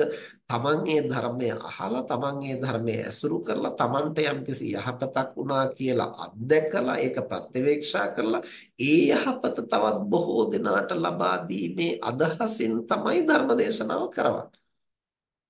එතකොට ඇත්තටම මේ කරන දේශනාවෙන් ඒ යහපත උනත් නොඋනත් ඒ මෑණියන්ගේ කුසල චේතනාව ප්‍රබලවම නිර්වාණයට යොමු වෙන ශක්තිමත් මනෝභාවයක් වෙලා එතකොට ඒ ධර්මදේශනාවෙන් අනිත් අය ප්‍රයෝජන ගන්නවද නැද්ද කියන එක ඒගොල්ලන්ගේ ශක්ති ප්‍රමාණය. ඒ ධර්මදේශනාව හරියට කරනවද නැද්ද කියන එක දේශකයාගේ වැඩ. දැන් අර මෑණියන්ගේ චේතනාව උනේ මොකද්ද? ඒ ඒ උපරිම ධර්ම දානමය මනෝභාවය. ඒ මනෝභාවයෙන් තමයි ඇය ආරාධනා කළේ, වියදම් කළේ, ගමන් පහසුකම් සැලැස්සුවේ, පිරිකර පූජා කළේ. මේ සියල්ල කළේ අදහසින්. එතකොට ඒක නිකන් මේ වාක්‍යයක් හැටියට පස්සේ හදාගත්තු ඒ පින්කමේ මේ පින් අනුමෝදන් කරන්න විතරක් මතු කරගත්තු කරුණක් නෙමෙයි. එතුමි ඒක හොඳට ඒක ඇතුලෙන් ආපු හැඟීමක්. අන්න ඒ විදිහට අපි මොන චේතනාවෙන්ද දේවල් කරන්නේ කියන කාරණේ මත තමයි අපිට අපේ මනස දැනෙන්නේ. දැන් තව අවස්ථාවක් අපිට මතකයි ඔය වගේ. අපි අනුරාධපුර රුවන්වැලි සෑය වන්දනා කරන්නට ගිය අවස්ථාවක සාමාන්‍යයෙන් පෞද්ගලික මගේ සිරිතක් තියෙනවා මල් පූජා කරනකොට වඩාම හොඳ මල් ටිකක්. හොඳට තැලිච්ච පොඩි වෙච්ච නැති හොඳට පිපිච්ච එහෙම නැත්නම් දැන් නෙළුම් මල් වගේ අපි දිගහැරලා ගන්නවා නම් පිපෙන්න ආසන්නව තියෙන ඒවා එහෙම නැත්නම් වැවේ පිපුණු මල් තිබුණොත් ඒවා අරගෙන එහෙම වඩාම පිරිසිදුව පිළිවෙලට ලස්සනට මල් ටිකක් කියන එක මලෙන් අදහස් වෙන්නේ සුගන්ධය සහ වර්ණය සහ ප්‍රසන්න බව. ඉතින් ඒ නිසා ඒ ටික තියෙන විදිහට මල් ටිකක් පූජා කරන්න ඕන කියන එක තමයි මගේ අදහස බුදුරජාණන් වහන්සේට පූජා කරනකොට වහන්සේගේ සීලේ ගුණය සිහිපත් කරනවා. එතකොට මේ මම පෞද්ගලිකව හිතන විදිහ. එතකොට අපි එක්කන් ගිය දායක මහත්තයා එතුමා මොකද කළේ? අර රුවන්වැලි සෑයට යන පාරේ කල්ලතුව දෙපැත්තේ අර මල් කඩ තියෙන හරියට කලින්ම වයසක අම්මලා එතකොට පොඩි දරුවෝ සමහරට තරුණ අම්මලා දරුවෝ වඩාගෙන අර මල් ටිකක් දිගහැරලා තියාගෙන නෙළුම් මල් ටිකක් අනේ මේ මල් ගන්න ගන්න කියලා එහෙම කියන තැන් තියෙනවා. ඉතින් ඒ අය ගොඩක් බැලූ බැල්මට පේනවා ගොඩක් අසරණ අය. හැබැයි ඒගොල්ලෝ අසරණ වුණාට මට ඒගොල්ලන්ගේ මල් ගන්න එච්චර හිතෙන්නේ මොකද මගේ අදහස තියෙන්නේ මේ වෙලාවේ අසරණයින්ට පිහිටවීම කියන එක නෙමෙයි බුදුරජාණන් වහන්සේගේ ගුණයට සුදුසු විදිහේ උපහාරයක් දක්වන්නයි මම රුවන්වැලි සෑයට යන්නේ කියන අදහසින් තමයි මම එතනට යන්නේ. හැබැයි අර මහත්මයා අර කීපපලකම නවත්තලා අනේ මේ මිනිස්සු පවුනේ මිනිස්සුන්ට එදිනදා වේල හොයා ගන්නවත් විදිහක් නැහැ මල් ටිකක් විකුණලානේ මොකක් හරි කරගන්න කියලා අර සකස් කරලා තිබිච්ච අර මල් මිටි මිටි තැන් තැන් වලින් ගත්තා. ඉතින් අරගෙන බැලුවෙන් පස්සේ ඒවා හොඳට අර මෝරපු මලුත් නෙමෙයි තාම කුඩා මල් පොහොට්ටු බලෙන් දිගෑරලා ඉතින් එහෙම දිගෑරලා ටිකක් වෙලා තියෙනකොට ඒ අනුරාධපුරයේ තියෙන අවුව සැරත් එක්කලා ඒවා නිකන් හේ ගිහිල්ලා වේලෙන්න කිට්ටු වෙලා ඉතින් දැන් ඒ මල් ටික දකිනකොට මට හිතිච්ච දේ තමයි මට කොහොමවත් ඒ වගේ මල් ටිකක් හිත හදාගෙන පූජා කරන්න අමාරුයි නේද කියලා. හැබැයි අර මහත්තයා කිසි දෙයක් නැතුව බොහෝම සතුටින් මේ මල් ටික ගෙනහිල්ලා ආසනයේ උඩ තියලා බුදුරජාණන් වහන්සේට පූජා කළා. දැන් මොකද මට ගැටලුවක් ඇති වුණා. දැන් එතුමා කරපු දේද හරි මම හිතන විදිහද හරි. ඒ නිසා ඔය සම්බන්ධව අපි දීර්ඝ වශයෙන් ඊට පස්සෙත් අපි ස්වාමීන් වහන්සේලා සහ තවත් කීප දෙනෙක් අපේ කල්යාණ මිත්‍රීන් ඒක රාශී කරගෙන අපි කතා බහ කළා සාකච්ඡා කළා. ඉතින් අවසානයේ එකෙන් මතු කරගන්නට පුළුවන් වෙච්ච දේ තමයි අපි එක් එක්කෙනාගේ චේතනාව වෙනස්. එතකොට ඒ ඒ කෙනාගේ චේතනාව අනුව තමයි ඒ තනත්තාගේ ගුණය සහ නුවණ වැඩෙන්නේ. ඒ නිසා රහත් උනත් ඒ රහතන් දැන් සම්මා සම්බුදුවරු පවනනේ හැම පැත්තෙම අංග සම්පූර්ණ වෙන්නේ. ඒ නිසා උන්වහන්සේලාට හැම පැත්තම සම්පූර්ණ කරන්න බොහෝ කාලයක් යනවා. දැන් ශ්‍රාවකෙක් හැටියට යනකොට හැම පැත්තක්ම සම්පූර්ණ නොවෙන්න පුළුවන්. ඒ තමන් රුචි කරන තමන් වඩාත්ම ඉදිරියට ගෙනියන මානසික తත්වය තමයි අනුක්‍රමයෙන් සංවර්ධනය වෙමින් ඉදිරියට යන්නේ. ඒ නිසා දැන් අර මහත්මයත් මමත් යම් දිනක කෙලස් නසන ආත්ම භාවයක් ආවොත් අපි දෙදෙනාටම කෙලස් නසන්නට පුළුවන් වුණාට අපි දෙදෙනාගේ ගුණාංග දෙවිධයකට වෙන්නට පුළුවන්. දැන් බොහෝ විට එතුමාට ඒ කරන වැඩෙත් එක්කලා පරිවාරය හුඟක් එකතු වෙන්න පුළුවන්. මොකද එතුමා අර බොහෝ දෙනාට කරුණාවෙන් අනුකම්පාවෙන් ඒ අයට අනුග්‍රහයක් හැටියට. ඒතර බුද්ධ පූජාව කරන්න ගිහිල්ලත් අර කොල්ලන්ට අනුග්‍රහයක්. හැබැයි අපි එතනදී ඒගොල්ලන්ට අනුග්‍රහ කරන්න ඕන කියන අදහසක් නැහැ. ඒ ඒගොල්ලන්ට අනුග්‍රහ කරනවා නම් ඒක වෙනම සිද්ධ කරනවා. හැබැයි බුදුහාමුදුරන්ට කරන පූජා කරන මල් ටික ඒගොල්ලන්ට අනුග්‍රහ කරන්න කියලා මොනවා හරි කහල ගොඩක් ගෙනහි පූජා කරන්න බෑ කියන අදහස අපේ මනසේ තියෙනවා. එතකොට ඒ අනුව තමයි අපේ ගුණාංග සහ අපේ ප්‍රඥාව අවදි වෙන්නේ. එනිසා තමයි ශ්‍රාවකයන් අතර විවිධත්වයක් පවතින්නේ. පුද්ගල විවිධත්වය. ඒගොල්ලන්ගේ සිතුම් පැතුම් වල විවිධත්වය. දැන් අපේ ගෞතම බුද්ධ ශාසනය ගත්තා වුණත් ඒ ශාසනය තුල මූලිකවම හිටපු ශ්‍රාවකයන් වහන්සේලා ගත්තා වුණත් උන්වහන්සේලාගේ චින්තනය වෙනස් එක් එක් විදිහට. දැන් මහා කාශ්‍යප මහ රහතන් වහන්සේ කියන්නේ රහතන් වහන්සේ නම. එතකොට ආනන්ද හාමුදුරුවෝ කියන්නේ පසුව උන්වහන්සේ රහත් වුණා. උන්වහන්සේත් රහතන් වහන්සේ නම. එතකොට අපි ගම්මකෝ සරියුත් හාමුදුරුවෝ සරියුත් හාමුදුරුවෝ සහ මහා කාශ්‍යප හාමුදුරුවෝ ගත්තන් පස්සේ දෙදෙනාම මහ රහතන් වහන්සේලා. නමුත් උන්වහන්සේලාගේ සිතුම් පැතුම් උන්වහන්සේලා වැඩ කටයුතු කරන විදිහ, තීරණ ගන්න විදිහ ගොඩාක් වෙනස්. දැන් එක් අවස්ථාවකදී මහා කාශ්‍යප හාමුදුරුවන්ට බුදුහාමුදුරුවෝ දේශනා කරනවා කාශ්‍යප මේ ශිෂ්‍යයින්ට එහෙම නැත්නම් මේ භික්ෂුන් වහන්සේලාට මේ අවවාදය කරන්න. එතකොට මහා කාශ්‍යප මහරු සිහිපත් කරන්නේ ස්වාමීනි තේරුමක් නැහැ මේගොල්ලන්ට ඒවක් කියලා. දැන් මේ අය එහෙම හික්මෙන්න සූදානමක් නැහැ. එහෙම හික්මෙන්න සූදානමක් නැති තැන මේ කතාව කියන්න ගියොත් ඒක අර්ථයක් නැහැ. එතකොට එක් අවස්ථාවකදී සරියුත් හාමුදුරුවෝ අර බොහෝ පිරිසක් එකතු කරගෙන අනුශාසනා කරනවා. එතනට බුදුහාමුදුරුවෝ ගිහිල්ලා සිහිපත් කරනවා සාරිපුත්ත ඔබ ඔය දහම් කරුණු කිව්වට මේ හැමදෙනාම ඕක අහලා හික්මෙන්නේ නැහැ කියලා බුදුහාමුදුරුවෝම යෝජනා කරනවා. යෝජනා කරනකොට සරියුත් හාමුදුරුවෝ සිහිපත් කරනවා නෑ ස්වාමීනි මෙතන ඉන්න එක්කෙනෙක් දෙන්නෙක් හරි මේක අහලා සැකසෙයිනේ. ඒ නිසා ඔක්කොම හැදුන්නේ නැති වුණාට අව්‍යාජ වංක බවක් නැතිව අවංකව ගුණධර්ම වඩන්න උත්සාහ කරන එක්කෙනෙක් දෙන්නෙක් හරි මේ අනුශාසනාව තේරුම් අරගෙන ඒකෙන් සැකසුනොත් ඒ අයගේ යහපත සඳහා මම මේ අනුශාසනාව කරනවා. ඊට පස්සේ බුදුහාමුදුරුවෝ සාදුකාර දීලා බුදුරජාණන් වහන්සේ දේශනා කරන සාරිපුත්ත ඔය විදිහෙන්ම හිතමින් ඔබ ඔය සබ්‍රහ්මචාරීන් වහන්සේලාට ඔය අනුග්‍රහය කරා. එතකොට ආකාශ්‍ය මහරහතන් වහන්සේ කියලා කියන්නේ සුවිශේෂ චරිතයක්. උන්වහන්සේට තමයි පුළුවන් වුණේ තථාගතයන් වහන්සේ දරූ සිවුර දරන්නට. උන්වහන්සේට තමයි පුළුවන් වුණේ මේ ශාසනය ඉදිරියට පවත්වන්නට ප්‍රථම ධර්ම සංගායනාවේදී මූලිකත්වය අරගෙන ඒ ප්‍රඥප්ති පනවන්නට. එතකොට එහෙම වුණාට උන්වහන්සේ ඒ හිතන විදිහ සරියුත් හාමුදුරන්ට වඩා වෙනස්. සරියුත් හාමුදුරුවෝ හිතන විදිහ උන්වහන්සේ හිතන විදිහට වඩා වෙනස්. එතකොට මේ මොකක් නිසාද? අර සසර ගමනේදී ಗುಣධම් වඩනකොට ඒ ඒ අය සිතූ ආකාරය, චේතනා මතු කළ ආකාරය. අන්න ඒ නිසා අපිට දැන් මේ පාරමිතාවන් සම්බන්ධ කතාවේදී වඩා වැදගත් වෙන්නේ මේ කටයුතු කරනකොට අපේ ගුණය සහ නුවණ අවදි වෙන්නේ කවර ආකාරයෙන්ද එතකොට ඒකෙන් ලෝකෙට කොච්චර යහපතක් වෙනවද කියන එක අතිරේක කාරණයක්. ඒමත් අපට සසර ගමනේ යම් සැප විපාකයක් ලැබෙනවා. හැබැයි අපේ මනෝභාවයන් අවදි වෙන විදිහත් එක්කලා තමයි සම්පූර්ණයෙන්ම එය නිවනට උදව් වෙනවද නැද්ද කියන කාරණය ඒ නිවන් දකින භවයේ දක්වා අපේ ගුණාංග කවර දිශාවක් ඉලක්ක කොටගෙනද ක්‍රියාත්මක වෙන්නේ කියන කාරණා තීරණය. ඉතින් ඒ නිසා මේ දාන පාරමිතාව පැහැදිලි කරනකොට දක්වන්නේ කරුණෝපාය කෝසල පරිග්‍රහිතා අත්ූපකරණ පරිච්ඡාග චේතනා දාන පාරමිතා. මෙතන කරුණාවෙන් සහ උපාය කෞශල්‍යයෙන් යුක්තව තමන් සන්තකදී අනුන්ට පරිත්‍යාග කිරීමේ චේතනාව ඒ ඇති වෙන මනෝභාවය. එතකොට ඒ ඇති වෙන මනෝභාවයේ ස්වરૂපය මොකද්ද? ඒ අනුව තමයි ඒ ඒ පුද්ගලයාගේ පාරමිතාවේ ස්වરૂපය තීරණය එතකොට මෙතනදී අපි තව කාරණාවක් මේකටම සම්බන්ධ කරගන්නට ඕන. අපි විශේෂයෙන් එහෙම ප්‍රත්‍යවේක්ෂණයක් තිබුණොත් තමයි අපිට අර වංචක ධර්ම වලින් සිත නිදහස් කරගෙන අපිට මේ කටයුතු කරන්න පුළුවන් වංචක ධර්ම ගැන අපි මීට කලින් කතා කරලා තියෙනවා බොහෝ අවස්ථාවල විශේෂයෙන්ම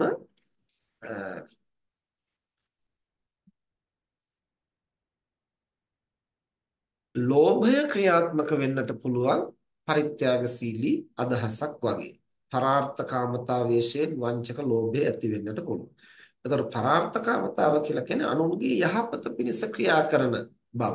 එතකොට යහපත පිණිස ක්‍රියා කරනවා වගේ අපේ මනස තුල ලෝභය මතුවෙන්නට පුළුවන්. එතකොට ඒක වෙන්නේ කොහොමද? අර විදිහට දන් දෙන පරිත්‍යාග කරන අයට කීර්ති ප්‍රශංසා ලැබෙනකොට තමන්ගේ මනසෙත් ඇති වෙන්නට පුළුවන් අපි දන් දුන්නොත් තමයි අර කීර්තිය ප්‍රසාදය අපටත් ලැබෙන්නේ. එතකොට ඒක ඇතුලෙන් මතුවෙනවා. හැබැයි තමන්ට අදහස පැහැදිලි නැහැ. තමන්ට දැනෙන්නේ තමන්ගේ මනසෙත් මේ පරිත්‍යාගය ගැන දන් දීම ගැන ලොකු උනන්දුවක් ඇති වෙනවා වගේ තමන්ට දැනෙනවා. එතකොට තමන් ඒකත් එක්කලා ක්‍රියාත්මක වෙනවා. හැබැයි ඇතුළත ක්‍රියාත්මක වෙන්නේ අර අන් අයගෙන් ලැබිය යුතු කීර්ති ප්‍රශංසා පිළිබඳ අපේක්ෂාවයි කියන එක තමන්ට පෙනෙන්නේ නැතු වෙන. එතකොට වංචක ලෝභයකට මුල් වෙලා තමයි එතකොට තමන්ගේ පරිත්‍යාගය කරලා තියෙන්නේ. එතකොට බාහිරින් බැලූ බැලමට බොහෝ දේ දීලා තියෙනවා වගේ පෙනෙනවා. හැබැයි ඇතුළත ගුණයක් වෙනුවට දුර්වලකමක් තමයි වැඩිලා තියෙන්නේ. එතකොට මේ දීපු දෙයින් Tamanට සසර ගමන යහපතක් සිද්ධ වෙනවා. හැබැයි නිවනට උදව් වෙන විදිහේ මනෝභාවයක් එතන අවදි වෙන්නේ නැහැ. ඊළඟට විචය දානතා වේසෙන් වංචක ලෝභය. ලෝභයම තව අපට බාධා කරනවා විචය විචය දානතා කියන්නේ සිල්වතුන් ගුණවතුන් තෝරාගෙන ඔවුන්ට දන් දෙන ස්වභාවය විචය දානතා. දැන් සිල්වතුන්ට ගුණවතුන්ට දන් දෙන්න ඕන කියලා හිතනකොට අපි හැමතිස්සෙම ඒ සිල්වතා ගුණවතා හොය හොයා දෙන්න හිතන්න කරුණු දෙකකින් අපේ මනස රැවටෙන්නට පුළුවන්. එකක් තමයි සිල්වතුන්ට ගුණවතුන්ට දුන්නහම තමයි මහත් ඵලදායක වෙන්නේ. එතකොට දැන් අපට ආපහු ලැබෙන අර භෞතික ඵලය ගැන හිතාගෙන තමයි අර සිල්වතුන් ගුණවතුන් හොයාගෙන යන්නට එක්තරා ප්‍රමාණයකින් පෙළඹෙන්නේ. ඒ බුද්ධ දේශනාව තමයි බුද්ධ දේශනාව වුණාට අපි අපි කුමක් නිසාද සිල්වතෙක් හොයලම දෙන්න උනන්දු වෙන්නේ? එතනදී අර වැඩි පොලිය ලැබෙන බැංකුව හොයලා අපි සල්ලි දානවා වගේ එතනදී ඒ සිල්වතුන්ට දුන්නොත් තමයිලු අපට වැඩිපුර ලැබෙන්නේ. අන්න ඒ වගේ අපේ මනස නොදැනුවත්වම ඒකත් එක්ක බද්ධ වෙනවා. අනිත් පැත්ත තමයි දැන් ලෝභී පුද්ගලයා මොකක් හරි කාරණයක් හොයනවා හැමතිස්සෙම නොදී ඉන්න. ලෝභකම කියලා කියන්නේ ඒක දෙන්න කැමති නැහැ. Taman සන්තක දේ Taman මුක්ති විඳින්න කැමති. එතකොට සම්පත් ලං කර ගැනීම, පවත්වා ගැනීම, මුක්ති විඳීම කියන මේවත් එක්කලා තියෙන බැඳීමනේ ලෝභය කියලා කියන්නේ. එතකොට එහෙම ලෝභී පුද්ගලයා හැමතිස්සෙම නිදහසට කාරණා හොයනවා දේවල් නොදී ඉන්නට.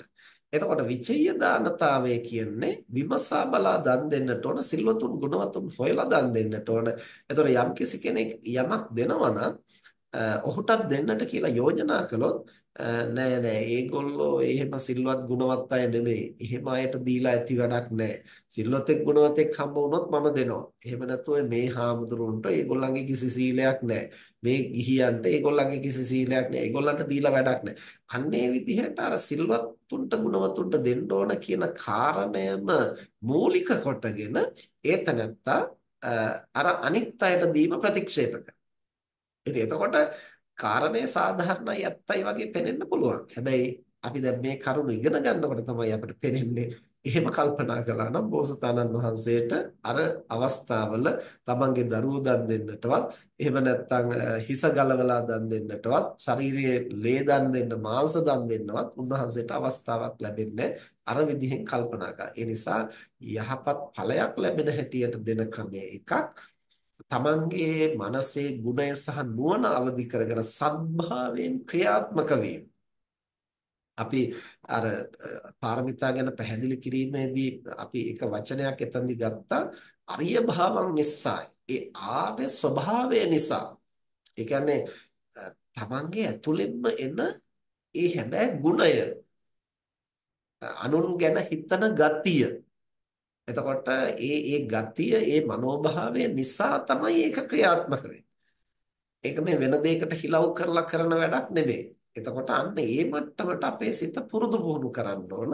ඇතුලෙන් ඒක નિરાයාසයෙන් අනුගේ යහපත පිණිස ක්‍රියාත්මක වෙන තැනට. ඉතින් මේ වංචක ධර්ම අපට බොහෝ කොට ඒවට බාධා කරනවා.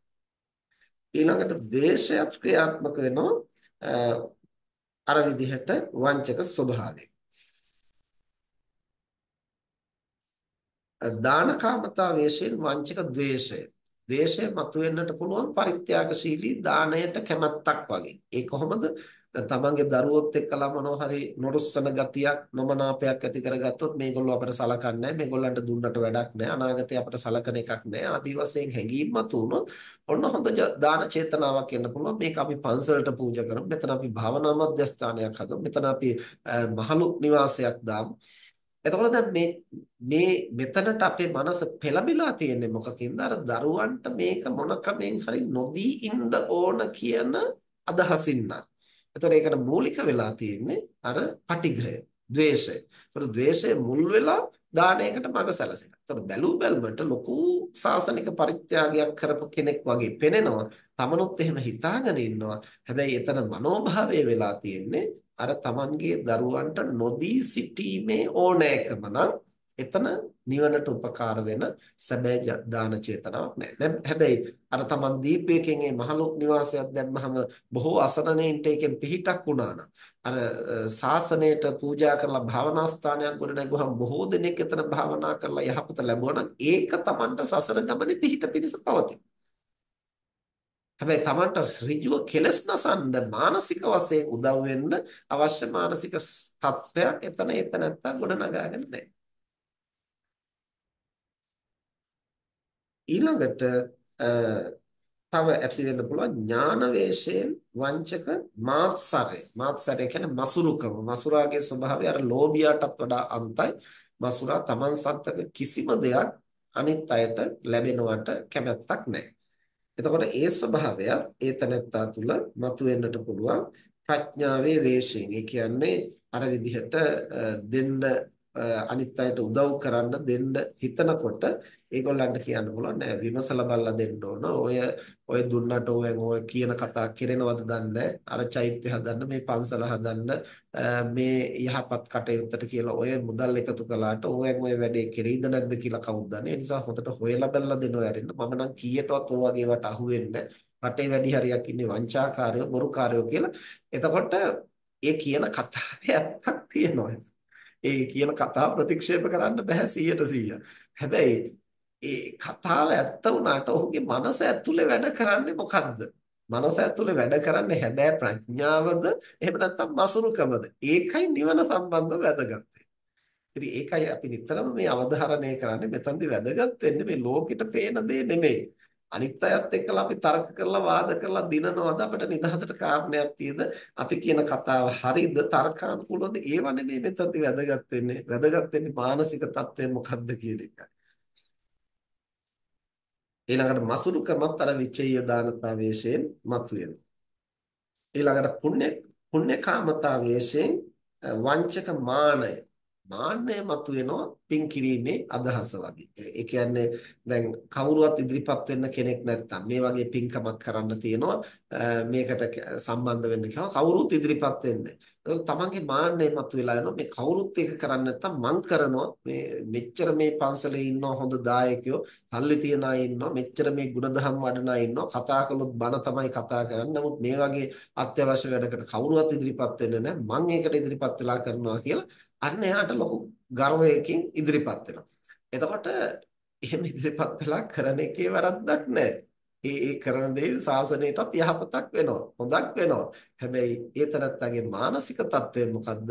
ඒ මත තමයි ඒ කෙලස් නසන්න උදව් වෙනවද නැද්ද කියලා තීරණය අන්න ඒ විදිහට අපි වඩාත්ම සැලකිලිමත් වෙන්නට ඕන මේ ಗುಣධම් වලදී විශේෂයෙන් මේ පාරමිතාවලදී කොහොමද මේ චේතනාව නිවැරදි විදිහට සකස් කරගන්නේ. ඉතින් අද අපි මේ කතා කළේ පළමු පාරමිතාව දාන පාරමිතාව. ඒ දාන පාරමිතාවේදී දාන චේතනාව අනුකම්පා බුද්ධියෙන් හෝ අනුග්‍රහ බුද්ධියෙන් හෝ පූජා බුද්ධියෙන් හෝ ඒ කවර පදනමක හරි තව කෙනෙකුගේ යහපත වෙනුවෙන් අපි සන්තක දේ පරිත්‍යාග කිරීමේදී අපේ චේතනාව අපේ මානසික මට්ටම ගැන සැලකිලිමත් වීමේ තියෙන වැදගත්කම තමයි අද අපි විශේෂයෙන් කතා කළේ. ඒතකොට දාන පාරමිතාවේ තව ගොඩාක් අපිට කතා කළ යුතු පැති තියෙනවා. ඒවා අපි ඉදිරි සතිවලදී සාකච්ඡා කරමු. අද දවසට මේ ටික ප්‍රමාණවත් කියලා හිතෙනවා දේශනේ හැටියට. එවනම් අපි සුපුරුදු පරිදි ධර්ම සාකච්ඡාව ආරම්භ කරමු. අරුණ මනතුංග මහත්මයා අවසරයි ගෞරවනීය ස්වාමින් වහන්සේ ඊ타මත්ම වටිනා දේශනාවක් පැහැදිලි කිරීමක් ඔබ වහන්සේ අපිට අද දින කළේ ඔය දානේ පිළිබඳව ටිකක් වෙනස් ආකාරයක පැත්තට ගෙනියන විදිහේ ප්‍රශ්නයක් මම යොමු කරන්න හදන්නේ ස්වාමීන් වහන්සේ. දැන් ස්වාමීන් වහන්සේ ඔය කියපු හැම දෙයකම එන තවත් කොටසක් තමයි අප සන්තක දේ. දීම මේ කරුණාව සහ උපාය කෞශල්‍ය ඇතුව ප්‍රඥා සම්පන්න. එතකොට දැන් මෙහිම අවස්ථාවක මම විස්තර කරන්නම්. දැන් අපි සමාජය තුළ ජීවත් වෙනකොට දැන් යම් යම් කාරණා නිසා මිනිස්සුන්ගේ ඇතැම් විට මානසික දුර්වලතා නිසා ඒ කට්ටිය කෙලෙස් බහුල වෙච්ච මානසික තත්වයකින් වාචසිකව කායිකව ක්‍රියාත්මක වෙන්න යනවා කියලා හිතමු. ඇතැම් විට මැසිවිලි නගන කට්ටිය. ඒ කියන්නේ අඩුම ගානේ මේ දේශගුණය ගැන. එතන ඉඳයි බොහොම සුළු තැනක් ගත්තේ. නැත්තම් රජය ගැන. ඔය වගේ මොනවා හරි ගැන දුප්පත්කම ගැන හරි. එහෙම මැසිවිලි නගමින් මේ මැසිවිලි නගනවා කියන පොඩි උදාහරණයක් ගත්තේ. එහෙම කෙනෙක් දකිනවා. එහෙම කෙනෙක් දැක්කහම දැන් සාමාන්‍ය දේ තමයි එතකොට ඒ ගැන අපි මොනවත් කරන්නේ එහෙම නැත්නම් අනේ අපෝයි කියන වගේ දෙයක් තියෙනවා. යමක් දෙන්න තියෙනවා නම් ආහාර වගේ දෙයක් ඒවා දෙනවා. නමුත් මෙතන කියන්නේ මානසික තත්ත්වයක්. ඉතින් ඒ පුද්ගලයාට අපිට පුළුවන් නම් එයාගේ මානසික තත්ත්වය වෙනස් වෙන විදිහට වඩා කුසල පැත්තට බර වෙච්ච අර පැත්තෙන් කෞශල්‍ය උපාය කෞශල්‍ය තුලින් එයාගේ ඒ මානසිකත්වය වෙනස් කරලා ඊට පස්සේ එයා ගැන කරුණාවෙන් ඒක කරන්නේ එතෙන්දි දාන තත්වයක් ඇති වෙනවා නේද? ඒකයි පළවෙනි ප්‍රශ්නය. ඒකෙම ඊට පස්සේ හරියට මේ එතන ඊළඟ දේ තමයි මේක හරියට චිත්තානුපස්සනාව Taman තුළ වැඩ කරනවා වගේ ඒ වගේම Tamanගේ බොජ්ජංග ධර්මයන් දියුණු වෙනවා වගේ වෙන අවස්ථා තියෙනවා ඕකේ ඇතුළට යනකොට ඒ කියන්නේ දැන් දැන් මෙහෙම කරන කෙනෙක් තුල ඉස්සෙල්ලා ඇති වෙන්න පුළුවන් මූලිකම ලෙවල් එකේදී ඇති වෙන්න පුළුවන් තමන් ගැන අභිමානය. මම එයාට වඩා දන්නවා. නැත්තම් එයා වැරදි. ඒ වගේ දෙයක්. නමුත් සමහිත පවත්වන්න පුළුවන් තත්ත්වයට එයාගේ එනකොට චිත්තානුපස්සනාව දියුණු වෙන්න පටන් ගන්නවා. ඒ වගේම බොජ්ජංග ධර්මයනුත් වැඩෙන්න පටන් ගන්නවා. මොකද එයාට තේරෙනවා මේක මානසික තත්ත්වයක්. ඒ වගේම Taman තුල ඒක නිසා ආරෝපණයක් ඇති වෙනවා නම් ඒක දැකලා ඒ මොහොතේම ඒක තුල සමතාවයකටපත් වෙලා ඒක නැති වෙලා ඒක සමාහිත වෙලා ඊට පස්සේ ඒ විදිහට යාට කරන්නේ ඊට පස්සේ අර තමන්ගේ ලොකුකමක් නිසා නෙවෙයි ඒ පුද්ගලයාට යහපත ඇතිවීම පිණිසමයි එතකොට එතන චිත්තානුපස්සනාව එක්ක එක් මට්ටම් තියෙනවා. ඒ වගේම බොජ්ජාංග ධර්මේනුත් ඒ පුද්ගලයා තුළ දියුණු වෙනවා. නමුත් එතන තියෙන්නේ දානේ දියුණු වීමක් නොවේද දානේ වෙනස් ආකාරයකින් ක්‍රියාත්මක වීම නෙවෙයි. ඔව් දැන් ඒ නිසානේ දානයේ ප්‍රධාන කොටස් තුනක් දැක්වෙන්නේ ආමිස දාන, ධර්ම දාන සහ અભය දාන. දැන් ඔබතුමා විස්තර කළේ එහි ධර්ම දාන කියන අවස්ථාව. ඒ කියන්නේ තව කෙනෙකුට ගුණ නුවණ දියුණු කරගන්න අපි උදව් කරනවා නම් අකුසලයෙන් වළකින්න, කුසල් වඩන්න සහ සිත පුහුණු කරන්න අපි යම්කිසි මාර්ගෝපදේශයක් ලබා දෙනවා නම් එතනදී අපි ඒ කරන්නේ ධර්ම දානයක්. ඒතකොට මේ අත්ූපකරණ කියලා කියන්නේ තමන් සන්තක දේ. තමන් සන්තක දේ කියලා කිව්වහම ආහාර පාන ආදිය විතරක් නෙමෙයි. තමන්ගේ දැනුම, තමන්ගේ ශ්‍රමය, තමන්ගේ ඥාන ශක්තිය මේ ඕනම දෙයක් අපිට අන් අයගේ යහපත වෙනුවෙන් පරිත්‍යාග කරන්න කැපකිරීම කරන්න පුළුවන්. ඉතින් ඒ ඒ තුලින් ධර්ම දානය කියන එක වඩා උසස්ම තත්ත්වයේ පවතින දානයක්. අවශේෂ දාන වලටත් වඩා. එතකොට අවශේෂ දාන ගත්තන් පස්සේ ඒවෙන් කරන්න පුළුවන් කෙනෙකුගේ කායික తত্ত্বය සුවපත් කරලා ඒ තුලින් මානසික తত্ত্বය අවදි කරගන්න යම්කිසි වක්‍රාකාර සහයෝගයක් පමණයි. හැබැයි અભේදාන සහ ධර්ම දෙකෙන් ඍජුවම මනස ඒ කියන්නේ અભේදානය කියලා කිව්වහම අද අපිට හුඟක් දෙනාට ඔළුවට එන්නේ මේ ජීවිතය රැකීම කියන එක. ඉතින් ජීවිතය රැකීම හරහා කරන්නේ මොකද්ද? සිත සුවපත් කිරීම. ඒ කියන්නේ මරණ බය කියන එක තමයි කෙනෙකුට ලෝකේ තියෙන ලොකුම භීතිය. Tamange කය අහෝසි වෙයි කියන එක. ඒතර කය රැක ගන්න තමයි ප්‍රතඥ සත්වයා බොහෝ දේ කරන්නේ. මේ පංචස්කන්ධය රැක ගන්න.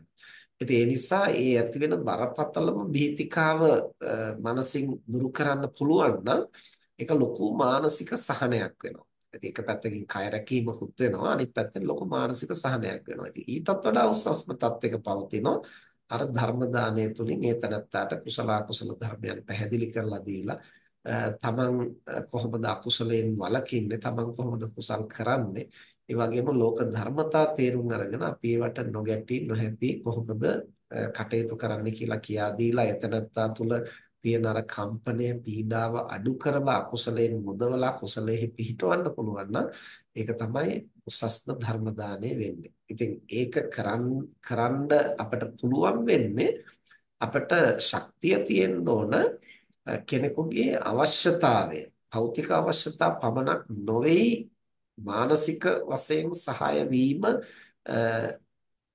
තියෙන වැදගත්කම අපිට වැටහෙන්න ඕන. දැන් උදාහරණයක් හැටියට මම අර කිව්වේ අර ඊයේ ධර්මදේශනාවට දායකත්වයේ දරපු අම්මගේ අදහස ඒ කියන්නේ තමන් මේ දහමින් ප්‍රයෝජනයක් ගත්තා, තමන්ට යහපතක් වුණා. ඉතින් අනිත් අයටත් ඒ යහපත කරන්න ඕන කියන මේ අදහස. අන්න ඒ වගේ අපි දහමින් යම් සැනසීමක් සුවයක් ඔබතුමා කිව්වා වගේ යම් චිත්තානුපස්සනාවක් එක්කලා මනසේ සුවයක් ලබනවා නම් ඒ සුවය තමයි අපට උදව් වෙන්නේ ඒ අත්දැකීම තමයි අපට උදව් වෙන්නේ අනිත් අය අර විදිහෙන් වැරදි විදිහෙන් කල්පනා කරමින් චිත්ත පීඩා විඳිනකොට ඒකෙන් ඒ මුදවා ගන්න අපිට සහාය වෙන්න පුළුවන් වෙන්නේ අර අත්දැකීමේ ප්‍රමාණයත් එක්කලා. ඊට පස්සේ ඉතින් ඒ අනිත් අයට උපදෙස් දෙන්න දෙන්න නැවත අපි අපේ මනස දිහා බලන්න පුහුණුවකුත් ලබනවනේ දැන් අපි මේ අනිත් අයට දහම් කරුණු කියා දෙනකොට ඒ කියා දෙන කියා දෙන වාරයක් පාසා අපේ මනසෙත් ඒවා ස්පර්ශ වෙලානේ එළියට යන්නේ. එතකොට ඒක Tamanටම හොඳ විමුක්තායතනයක් බවට පත් වෙනවා. ඒ අන් අයට පැහැදිලි කරලා දීම. එමයි ස්වාමීන් ඒ වගේම දැන් ඔය කාරණේ කියනකොට අපි සමහර කට්ටිය ධර්ම මාර්ගයේ යන කට්ටියවත් ඒ ඒවා ගැන එච්චර ගරු කරන කට්ටියවත් නෙවෙයි. එතකොට ධර්මය කියලාම කෙලින්ම දාන්නත් බෑ. අන්න එතන තමයි උපාය කෞශල්‍ය තමන්ගේ මූලික අංශ දියුණු කරගන්න සිද්ධ වෙනවා. ඒක හරියි. ධර්මයේ දන්න කෙනෙකුට කෙලින්ම කෝට් කරලා කියත හැකි මෙන්න මෙතන මෙහිමයි මෙහිමයි මෙහිමයි මේ සූත්‍රයේ මෙහිමයි කියන. නමුත් අර වගේ අවස්ථාවක තමන්ගේ විශාල කෞශල්‍යයක් දිනු කරගන්න වෙනවා. කොහොමද එයාගේ මානසික තත්ත්වය කොහොමද ප්‍රතිචාර දක්වන්නේ? ඒ වගේ විශාල පරාසයක කටයුතු කරන්න වෙනවා. ඇත්තටම දැන් ධර්මයෙන් දන්න කෙනෙකුට වුණත් ඒ ඉන්න අවස්ථාවත් එක්කලා එතනත්තා ධර්මයේ හැටියට දුන්නොත් ඒක ගන්න නැති වෙන්න පුළුවන්. මොකද හුඟක් දෙනා ධර්මය අහලා ඒක තේරුම් අරගෙන තිබුණා වුණාට ප්‍රායෝගික ජීවිතයේදී එහෙම දෙයක් සිද්ධ වෙනකොට ඒක දහමයි කියලා කියන්න ගියොත් ඒ අයට තරහ එන අවස්ථාවක් තියෙනවා. ඒ අර අඩුව තමයි. ඔව්. ඔව්. ඉතින් ඔව් මම මේ අමාරු වෙట్లా ඉන්න වෙලාවේ මෙයා මේ බණ කියන්න එනවා කියලා ඒගොල්ලන්ට කෝපය මතුවෙන අවස්ථා තියෙනවා. ඉතින් මේ බඳු තැන්වලදී අපි තාම ප්‍රවේශම් වෙන්න ඕන. ඒගොල්ලෝ ගණ්ඩ ලෑස්ති මොන විදිහින්ද අන්න ඒ වගේ පැත්තකින් දෙන්න. ඉතින් ඒකට අපිට කරුණා මෛත්‍රිය ඉවසීම වගේම හොඳ ප්‍රඥාවක් තියෙන්න ඕන. අනිත් කෙනාගේ මානසික තත්ත්වය, පාරිසරික තත්ත්වය තේරුම් අරගෙන ඒ තැනත්තාට අවශ්‍ය මඟ පෙන්වීම කරන්න. එහෙමයි ස්වාමීන් වහන්සේ. ඉතාමත්ම පැහැදිලි. බොහෝමත්ම පින් සිද්ධ වෙනවා. තෙරුවන් සරණයි. අපේ දහම් සෙවනේ ස්වාමීන් වහන්සේ. අවසරයි පින්වත් ස්වාමීන් වහන්සේ. අනේ ඉස්සෙල්ලාම සමාවයි දිනව මට මේ හදිස්සියේ දරුවෙකුගේ මේ අසනීපයකට බෝධි පූජාවකට කතා කරපු නිසාවෙන් පැමිණෙන්න ප්‍රමාද වීම සම්බන්ධයෙන් ඉස්සෙල්ලාම වහන්සේගෙන් සමාවයි දිනවා. එනිසා මට අන්තිම මොහොතේ තමයි සම්බන්ධ වෙන්න ඒ සම්බන්ධ වෙනකොට මෙහිච්ච පුංචි කොටසත් එක්ක තමයි මගේ මේ ධම්ම අදහස ඉදිරිපත් කරන්නේ.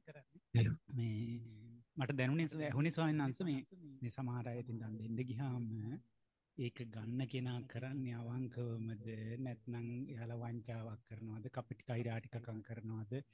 එතකොට ඒක නොදිත් බෑ. දෙන්න ගියාම දැන් ඒක අසාධාරණයකට ලක් වෙනවද? ඒකට සාධාරණය වෙනවද නැද්ද? ඔය වගේ දේවල් හොයන හිතන ස්වභාවයක්ට ගියාම ප්‍රශ්න ටිකක් ඇති වෙන ආකාරයේ කොටස තමයි චුට්ටක් මට අහන්න ලැබුණේ අවසානයේට අපේ ස්වාමීන් මේ මෙතන මට තියෙන අදහසක් තියෙන දෙයක් මම මේ ටිකක් විමසන්නේ වහන්සේගෙන් දැන් මේ දෙනවා. කෙනෙකුට දෙනවා. බාහිරට දෙනවා තමයි අපි දානේ කියන එකේ දීමක් තියෙනවා. එතකොට මේ දීලා දීලා අපි අවසානයේ බලාපොරොත්තු වෙන හෘදයාංගම පැත්තට ගිහිල්ලා අපි හදවත පැත්තට ගිහිල්ලා බැලුවාම අතහැරීමක් කරලා තියෙනවා. අපේ රාග කොටසක්, අපේ දේශ කොටසක්, අපේ මෝහ කොටසක් අතහැරීමට නේද මේ ව්‍යායාමයේ අපි හිමීට යොදවගෙන තියෙන්නේ. මුල ඉඳලාමත් අවසානයේ වෙනකනුත් අන්න එතනින් අපි දෙන්න හදාන්න ගියොත් එතකොට ඒ ගන්න කෙනෙක් හිටියොත් ගන්නවා. නොගන්න කෙනෙක් හිටියත් අපි බලනවා මෙයා මුල් කරගෙන මොන මොනවද මගේ අයින් කරගන්න පුළුවන්. අඩුවනේ තරහ ගන්න එක අයින් කරගන්න ලැබුණොත් මනස තික තැල්ලා දාගන්න ලැබුණොත් එතනත් අපි එක්තරා මට්ටමක අතහැරීමක් කරලා තියෙනවා.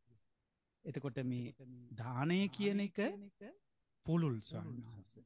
ඉතාම පුළුල්. මම පාරමිතා කොටසකට ගලපගන්න කතාවෙදිත් මුලදිම කිව්වා. මේවා හැම දෙයක්ම අතිසයම සියුම් වගේම පුළුල්.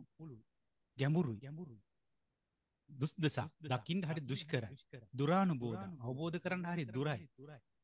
ඒ නිසා මේවා භාග්‍යවතුන් වහන්සේ විසින්ම අවබෝධ කරල අපිට දේශනා කරන ඉතාම් අමිල වූ සද්ධර්ම කොටස්ම තමයි ස්වාමන්ස එතකොට අපි මේක චුට්ට චුට්ට විවරණය කරගෙන සාකච්ඡාවට ගෙනීමෙන් අපි අපිට විශාල සාධාරණයක් මේ කරගන්න. සර්ව සාධාරණ මොකද නැත්නම් හැමදාම අපි මේ අසාධාරණයකට ලක් වෙනවා වගේ එකක් අපිට දැනෙනවා. හැම තැනකම අපිට අසාධාරණයක් වෙනවා. වගේ එකක් දැනෙනවා. ඒ ඉතින් අපි අපි අපි ඉල්ලන සාධාරණය නම් හම්බෙන්නේ නැහැ. මොකද ඉල්ලන්නේ කෙලෙස් වලට සාධාරණයක් නේ. හැම තැනම මේ ඉල්ලන්නේ කෙලෙස් වලට සාධාරණයක්. අපි දෙමක් දෙනකොට කෙලෙස් මුල් කරගෙන දුන්නහම තමයි අපිට ඕන වෙන්නේ අරක මමයි දුන්නේ ඒකෙන් මේකයි කෙරුවේ අරක මේක කරපු කියපු කතන්දර ටික දාගන්නේ දැන් එතකොට අර මනසේ ලෝභය අතෑරිලත් නෑ බලනකොට දේශය අතෑරිලත් නෑ මුලාව අතෑරිලත් එතකොට කෙනෙකුට කෙනෙක් දුන්නා වෙනවා. තමත් දුන්නා වෙනවා. කතා කරලා ඒ ටික තමයි අපි කතා කරලා අපි හන්න දැන් අර අපි කොහොම බාහිරින් කටයුතු කළත් නිදහසට කාරණා නෙමෙයි වැදගත් වෙන්නේ. අවංකව අපේ චේතනාව අපේ මානසික තත්ත්වය කොතනද තියෙන්නේ කියන එක ගැන කොහොමද අපි සැලකිලිමත් වෙන්නේ කියන එක තමයි අද දේශනාව. ලැඩ්ඩිපුරම මං හිතන්නේ අපි අවධානයට යොමු කරගත යුත්තේ. මේක මේ දීම කෙනෙක් ඒක අරගෙන ඒකෙන් ප්‍රයෝජනයක් අරගෙන ඉදිරියට එනවා නම් බොහොම වටිනවා. එයා කෙනෙක් නැති වුණා කියන්නකො. ඒ කෙනා නිකන් අපිට මොනවා හරි මේකට සමච්චලයට දෙයක් කියනවා වෙන්න පුළුවන් බාල්දු කරනවා වෙන්න පුළුවන්. අපි කරපු කියපු දේ ලොකු නිකන් අපිව නිකන් සවුත්තු කරවන්න යොදාගත්තා වෙන්න පුළුවන්. ඉතින් මට මොකද ඒක? මම මට අතාරින්න ඕන දේ අතහැරගෙනද මම මට අතාරින්න ඕන දේශය අතහැරගන්න එක යොදාගත්තා මගේ මට අතාරින්න ඕන මාන්‍ය අතහැරගන්න එක මම යොදාගත්තා ඉතින් මම යමක් කතෑරියා මම යමක් දුන්නා. මම යමක් යම් දානයක් එතන ප්‍රැක්ටිස් කලා එසා අපිට කියන්න බෑ මෙතනදි මෙතනදි මේ මේ කොටස තමයි කියලා. ඉතින් ඒ නිසා මේ දානය හර පුළුල්. එතකොට ඔබහන්සේ අර මතක් කරා මේක දැන් ආමිසමය වශයෙන් දෙන දානයක් වෙන්න පුළුවන්. එතකොට ඒ කෙනෙකුට ඒක කරගන්න තව කෙනෙකුට බය නැතිකම දෙන්න පුළුවන් බය නැතිකම දෙන්න පුළුවන් හොඳම විදිහ තම අපි සිල්වත් වෙන එක ස්වාමීන් බය නැතිකම දෙන්න පුළුවන් හොඳම විදි අපි සිල්වන්ත එතකොට සිල්වන්ත වෙනවා කියන්නේ ප්‍රාණඝාතයක් නෑ හොරකමක් නෑ වංචාවක් නෑ කපටිකමන්නේ හිංසනයක් නෑ පීඩා කිරීමක් නෑ. එකන අපි මුල් කරගෙන මේ වටපිටාව සම්පූර්ණ සියලු සත්වයන්ට හැකියාව තියෙනවා. යම් කිසි බයකින් නිදහස්සේ එතකොට අපිව නිරන්තරෙන් දැ කෙනෙකුට දෙනෙක් දානයක් හැටියට එක දැක්කට අබේදානය කියන එක හරකෙක් නිදහස් කරන කුලෙක් නිදහස් කරන එකටම වීම සීමා කරගණ්ඩ අවශ්‍ය නෑ. ඒක කරන්න ඕන කෙන ඒකන්ද ආරම්භ කරලා එන්නත් ඕනේ. එහමනතු අපි පාරමිතා කරන කොටස එහෙම එක පාර ගැඹුරෙන්කත් පටන් ගන්නවා කියන කතාවකර ගෙනියන්නත් හොඳ එක එතකොට අර මේ අපේ තේරවාදයට එච්චර හරිලන්න තේරවාදේ බොහොම සරල තැනක සිට ක්‍රමාණුකූල බවකින් පිළිවෙලකින් විදහ දැක්වෙන ලස්සන කුසල ධර්ම පරම්පරාවක් උපදවාගෙනන වැඩටහනක් තමයි මේ තේරවාදය විවෘත වෙන්න අපිට. එතකොට එහෙම නොවෙන අය තමයි මේ අපබ්‍රංස දොඩෝනවා සාමාන්‍ය විදිහට වැඩ කරන්න බෑ ලොකූ කතන්දර තියෙනවා ලොකූ දර්ශන ඉලස්ථාවක් ගේනවා හැබැයි සාමාන්‍ය සරල සීලයකටවත් එන්න බෑ. කිසිම දෙයක් අතාරන්න ඔක්කොම අල්ලගෙන හිර කරන ඒ වගේ අපිට මේ යුගේ හරි කෙනෙකුට හිතෙන්ට පුළුවන් බැලූ බැල්මට ස්වාමීන් වහන්ස මේ යුගේ හරි අමාරුයි දුෂ්කර අවබෝධ කරන්න කරන්නේ එහෙම දෙයක් මේ අවබෝධ වෙන්න ඕන හොඳම යුගයක් මේ මත් වෙලයි. ඒ කියන්නේ මිනිස්සුන්ට මේ සැප ලබන්ඩ අමාරුයි මේ කාලේ. එකන කෙලෙස්වලට නෙ සැපෝනේ සැපට ඉන්ඩ හොයනවා කියන එක තුළ තියෙන්නේ කෙලෙස් සන්තෝස කරන්න හදන භාව සැප ලබන්ඩ අමාරුනාට දුක අවබෝධ කරන්න ලේසි ස්වාන්නාසමී දුක්කේ ඥානං උපදවන එකට බුද්ධ ශාසනය කියලා අපි ගත්තෝ. ඒක ඒ තරම් අමාරු කතාන්දරයක් නෙමේ සැපට ඉන්ඩ අමාරු ධ්‍යාන සමාධි සමාපත්ති සුව ලබමින් වුණත් සැපට ඉන්ඩ අමාරු. එහෙම කියල එක එපා නෙවේ. ඒක ආර්ය මට්ටමකට පත්වෙන සිතක තියෙන සමාහිත භාවයට බාධානය මෙතන. ඒ කියන්නේ සමාධි මානන්ත රිකං්ඥමාහු අර ආනන්තරික සමාධ මට්ටම කියන එකට ගත්තහම අපිට මේ පුද්ගලෙක් අත්තිදින සුවදායි පලදායි ස්භාවයක් නෙමෙයි. පුද්ගල මානසිකත්වයකින් හදාගත්තු එක පුත්තේ ඒක ඇවිල්ලා ආර්ය ධර්මයක් තියෙනවා එතන. එතමයි මෙ දානය ආර්ය දානයක් බවට පත්වෙන්න පුළුවන්. වෙන එතකොට ආර්ය සම්පත්තිකක් එක හැදෙනවා. ආර්ය ගුණධර්ම ටිකක් එක නැගටින් ඉස්සරහට ඉතින් අපේ ස්වාමීන් වහන්සේත් පොඩ්ඩක් ඒ අදහස් ටික මම හිතනවා ඔබ වහන්සේ ඒ විදිහටම දරනවා.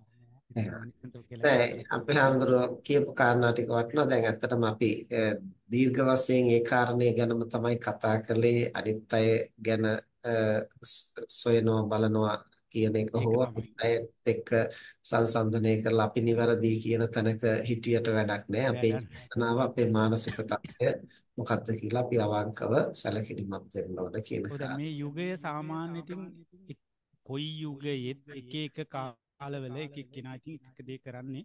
මොනවා හරි ධර්මයට නැඹුරු වෙච්ච තැනකින් මොනවා හරි දෙයක් කරන්නේ. හිමින් හිමින් හරි එයාගේ පාරමිතා කොටස පිරින තැනක ඉන්නේ. එහෙම. තාම කෙනෙක් ප්‍රශ්න අහලා තියෙනවා. එහෙමයි සයන්ස් අපි ඒගොල්ලන්ටත් අවස්ථාවක් දීලා නැවත කතා කරමු. බුද්ධික මහත්මයා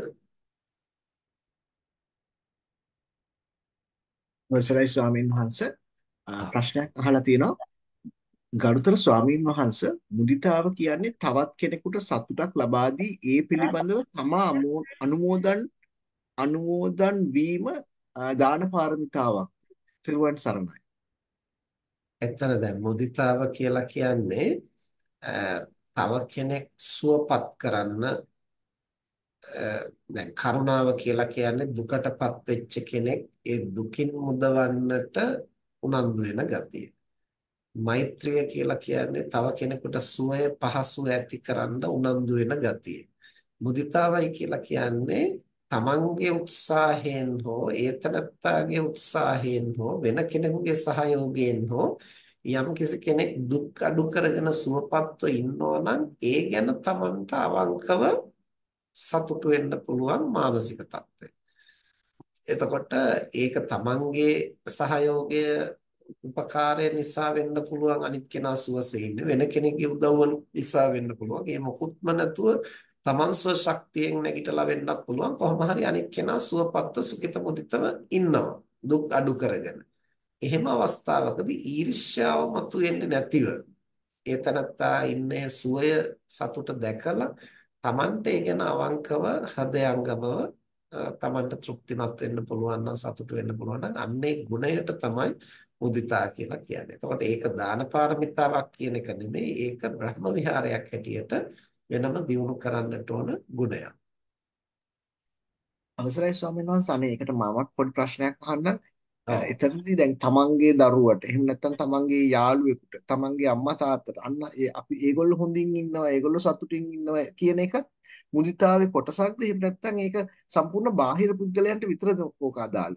නෑ ඒ තමන්ගේ අය සම්බන්ධවත් ක්‍රියාත්මක වෙන්නේ මුදිතාව වෙන්නත් පුළුවන් ඒක තෘෂ්ණා මූලික හැඟීමක් වෙන්නත් පුළුවන් ඒක වෙනත් වංචක ධර්මයක් වෙන්නත් පුළුවන්.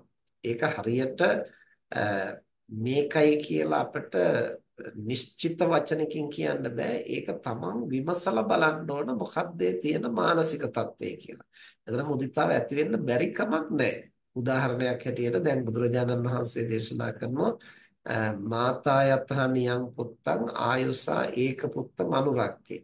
තමන්ට එකම දරුවෙක් ඉන්න අම්මා කෙනෙක් ජීවිත පරිත්‍යාගයෙන් ඒ දරුවා ආරක්ෂා කරන්නට කටයුතු කරනවා. ඒවම්පි සබ්බ භූතේසු මානසංභාවය අපරිමාණ. අන්න ඒ වගේ මානසික තත්ත්වයක් සියලු සත්වයන් කෙරෙහි පවත්වා ගන්න. එතකොට දැන් මේ බුදුරජාන් වහන්සේ දේශනා කරන්නේ මේ මෙත්තාවේ එක්තරා මৌলিক ස්වરૂපයක් ගැනයි එතන උපමාවෙන් පැහැදිලි කරන්නේ. හැබැයි හැම අම්මා කෙනෙක් තුලම තමන්ගේ දරුවා පිළිබඳව ඇති වෙන්නේ මෙත්තාවමද එතකොට මේ මෙත්තාව ඇති වුණත් හැම මොහොතෙම ඇති වෙන්නේ මෙත්තාවමද? අන්න එහෙම විමසලා බලන්න ඕනේ. ඉතින් එතන අපි මීට පෙරත් පැහැදිලි කරලා දීලා තියෙනවා. එහෙම විමසන්න අපිට තියෙන එක ක්‍රමයක් තමයි අනිත් පැත්තට ප්‍රත්‍යවේක්ෂා කරලා බලන්න ඕනේ. ඒ කියන්නේ දරුවාගේ යහපත කැමති වෙනකොට ඒ කැමති වෙච්ච යහපත සිදු නොවුනොත් ඒ අම්මාට ඒ තාත්තට ඇති වෙන මානසික තත්ත්වය මොකද්ද? එතකොට ඒක සිද්ධ නොවුනහම තමන් මනසින් කඩා වැටෙනවා නම් තමන් තැවෙනවා නම් තමන් දුක් වෙනවා නම් එහෙනම් එතන තිබිලා තියෙන මෙත්තාව නෙමෙයි එතන තිබිලා තියෙන තෘෂ්ණා මූලික බලාපොරොත්තුව. ඒ නිසායි අර කම්පනේ පීඩාව තමන්ට දැනෙන්නේ.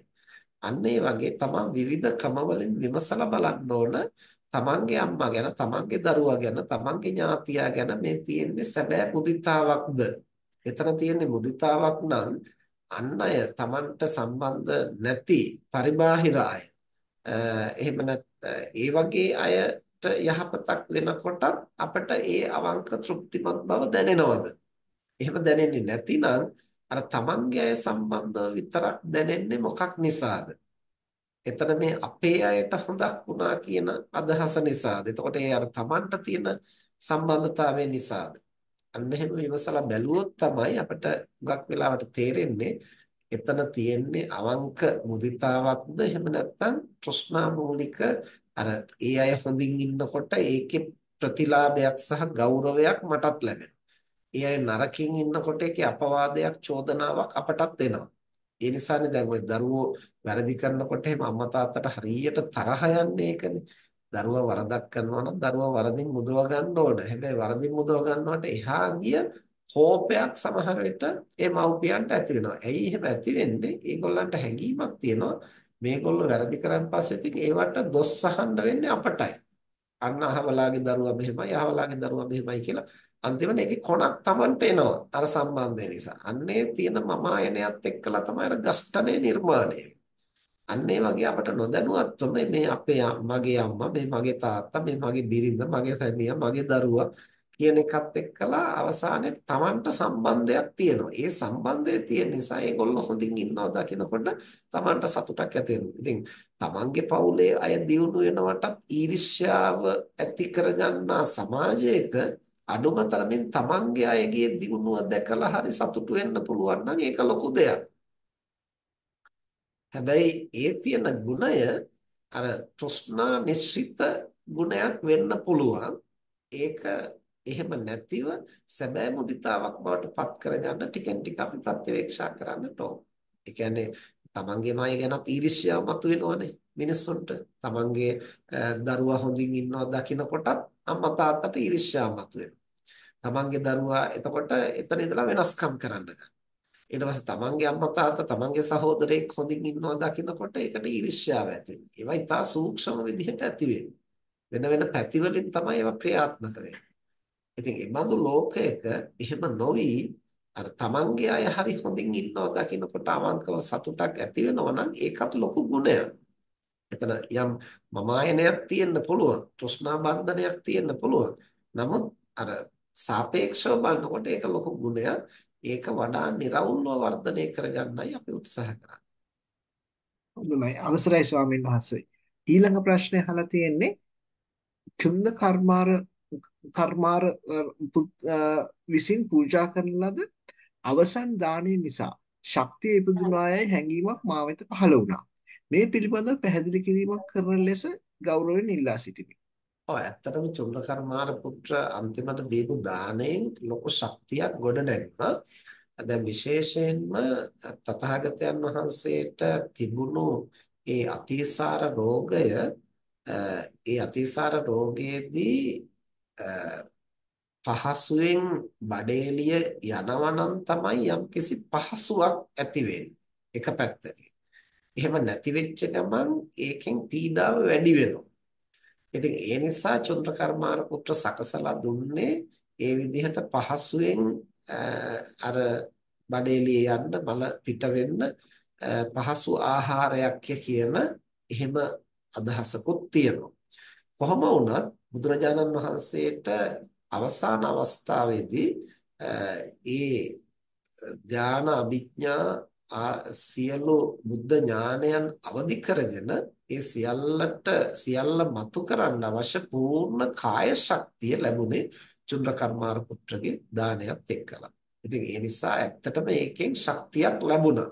ඒ නිසා තමයි බුදුරජාණන් වහන්සේ අර ආනන්ද හාමුදුරුවෝ ලව අර පණිවිඩය යවන්නේ ඔහුට කියන්න තථාගතයන් වහන්සේට මේ දීපු දාණය සුවිශේෂ දානයක් කියලා. ඇත්තටම මේකෙන් ශක්තියක් ලැබුණා බුදුරජාණන් වහන්සේට. බොහොම පිං අවසරයි ස්වාමීන් වහන්සේ. එච්චරයි ප්‍රශ්න තියෙන්නේ. මේ පල්ලෙහා අහලා තියෙන මොකද අර මේ contact numbers ඒගොල්ලන්ට. ආ එහෙම එකක් මගේ chat එකේ නම් ඇවිල්ලා නැහැ. අවසරයි හම්බුනේ. ඔබ වහන්සේට දාලා තියෙනවා මේ venerable Bhante we can uh, can we have a contact number to communicate regarding future programs. Last couple weeks, we were not aware of uh, no Zoom teachers. Uh, පසුගිය uh, වැඩසටහන් තුන Zoom එකේ විතරක් නෙමෙයි YouTube එකේ ඒක record වෙලා තියෙනවා අවශ්‍ය කෙනෙකුට අහන්න පුළුවන්. Uh, හැබැයි අර කලින් ඒවා වෙනම එකට පැක් කරලා තියෙන නිසා එකක් තෝරගත්තාම අනිත් ටිකත් ඒත් එක්ක එනවා. මේ ටික තාම එහෙම සකසලා නැති නිසා තාම වැඩසටහන ඉවර නැති නිසා මට තවත් අය කිව්වා සමහර ඒවා හොයාගන්න අමාරුයි කියලා පොඩ්ඩක් Zoom එකට ගිහිල්ලා විමසලා බලලා තමයි ගන්න වෙන්නේ. ඒගොල්ලන්ට පුළුවන් නම් මේ අපේ ධම්ම යාත්‍රායකේ ටෙලිෆෝන් නම්බරේ කොහොමත් මේක වීඩියෝ එක මුලින් ප්ලේ වෙනකොටත් ඒ ටික වැටෙනවනේ නේද? මේක නැවත දාලා තියන්න ඒගොල්ලන්ට අවශ්‍යයිට ගන්න. හොඳයි අවසරයි. අපේ අනුන්දති වෛද්‍යතුමිය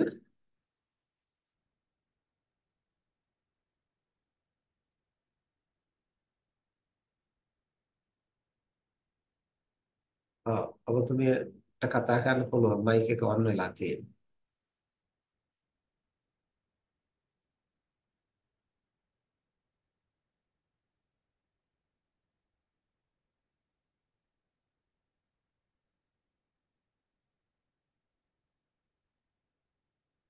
අරුන්දති කුරුකුල සූර්ය වෛද්‍යතුමියට ඇහෙනවද?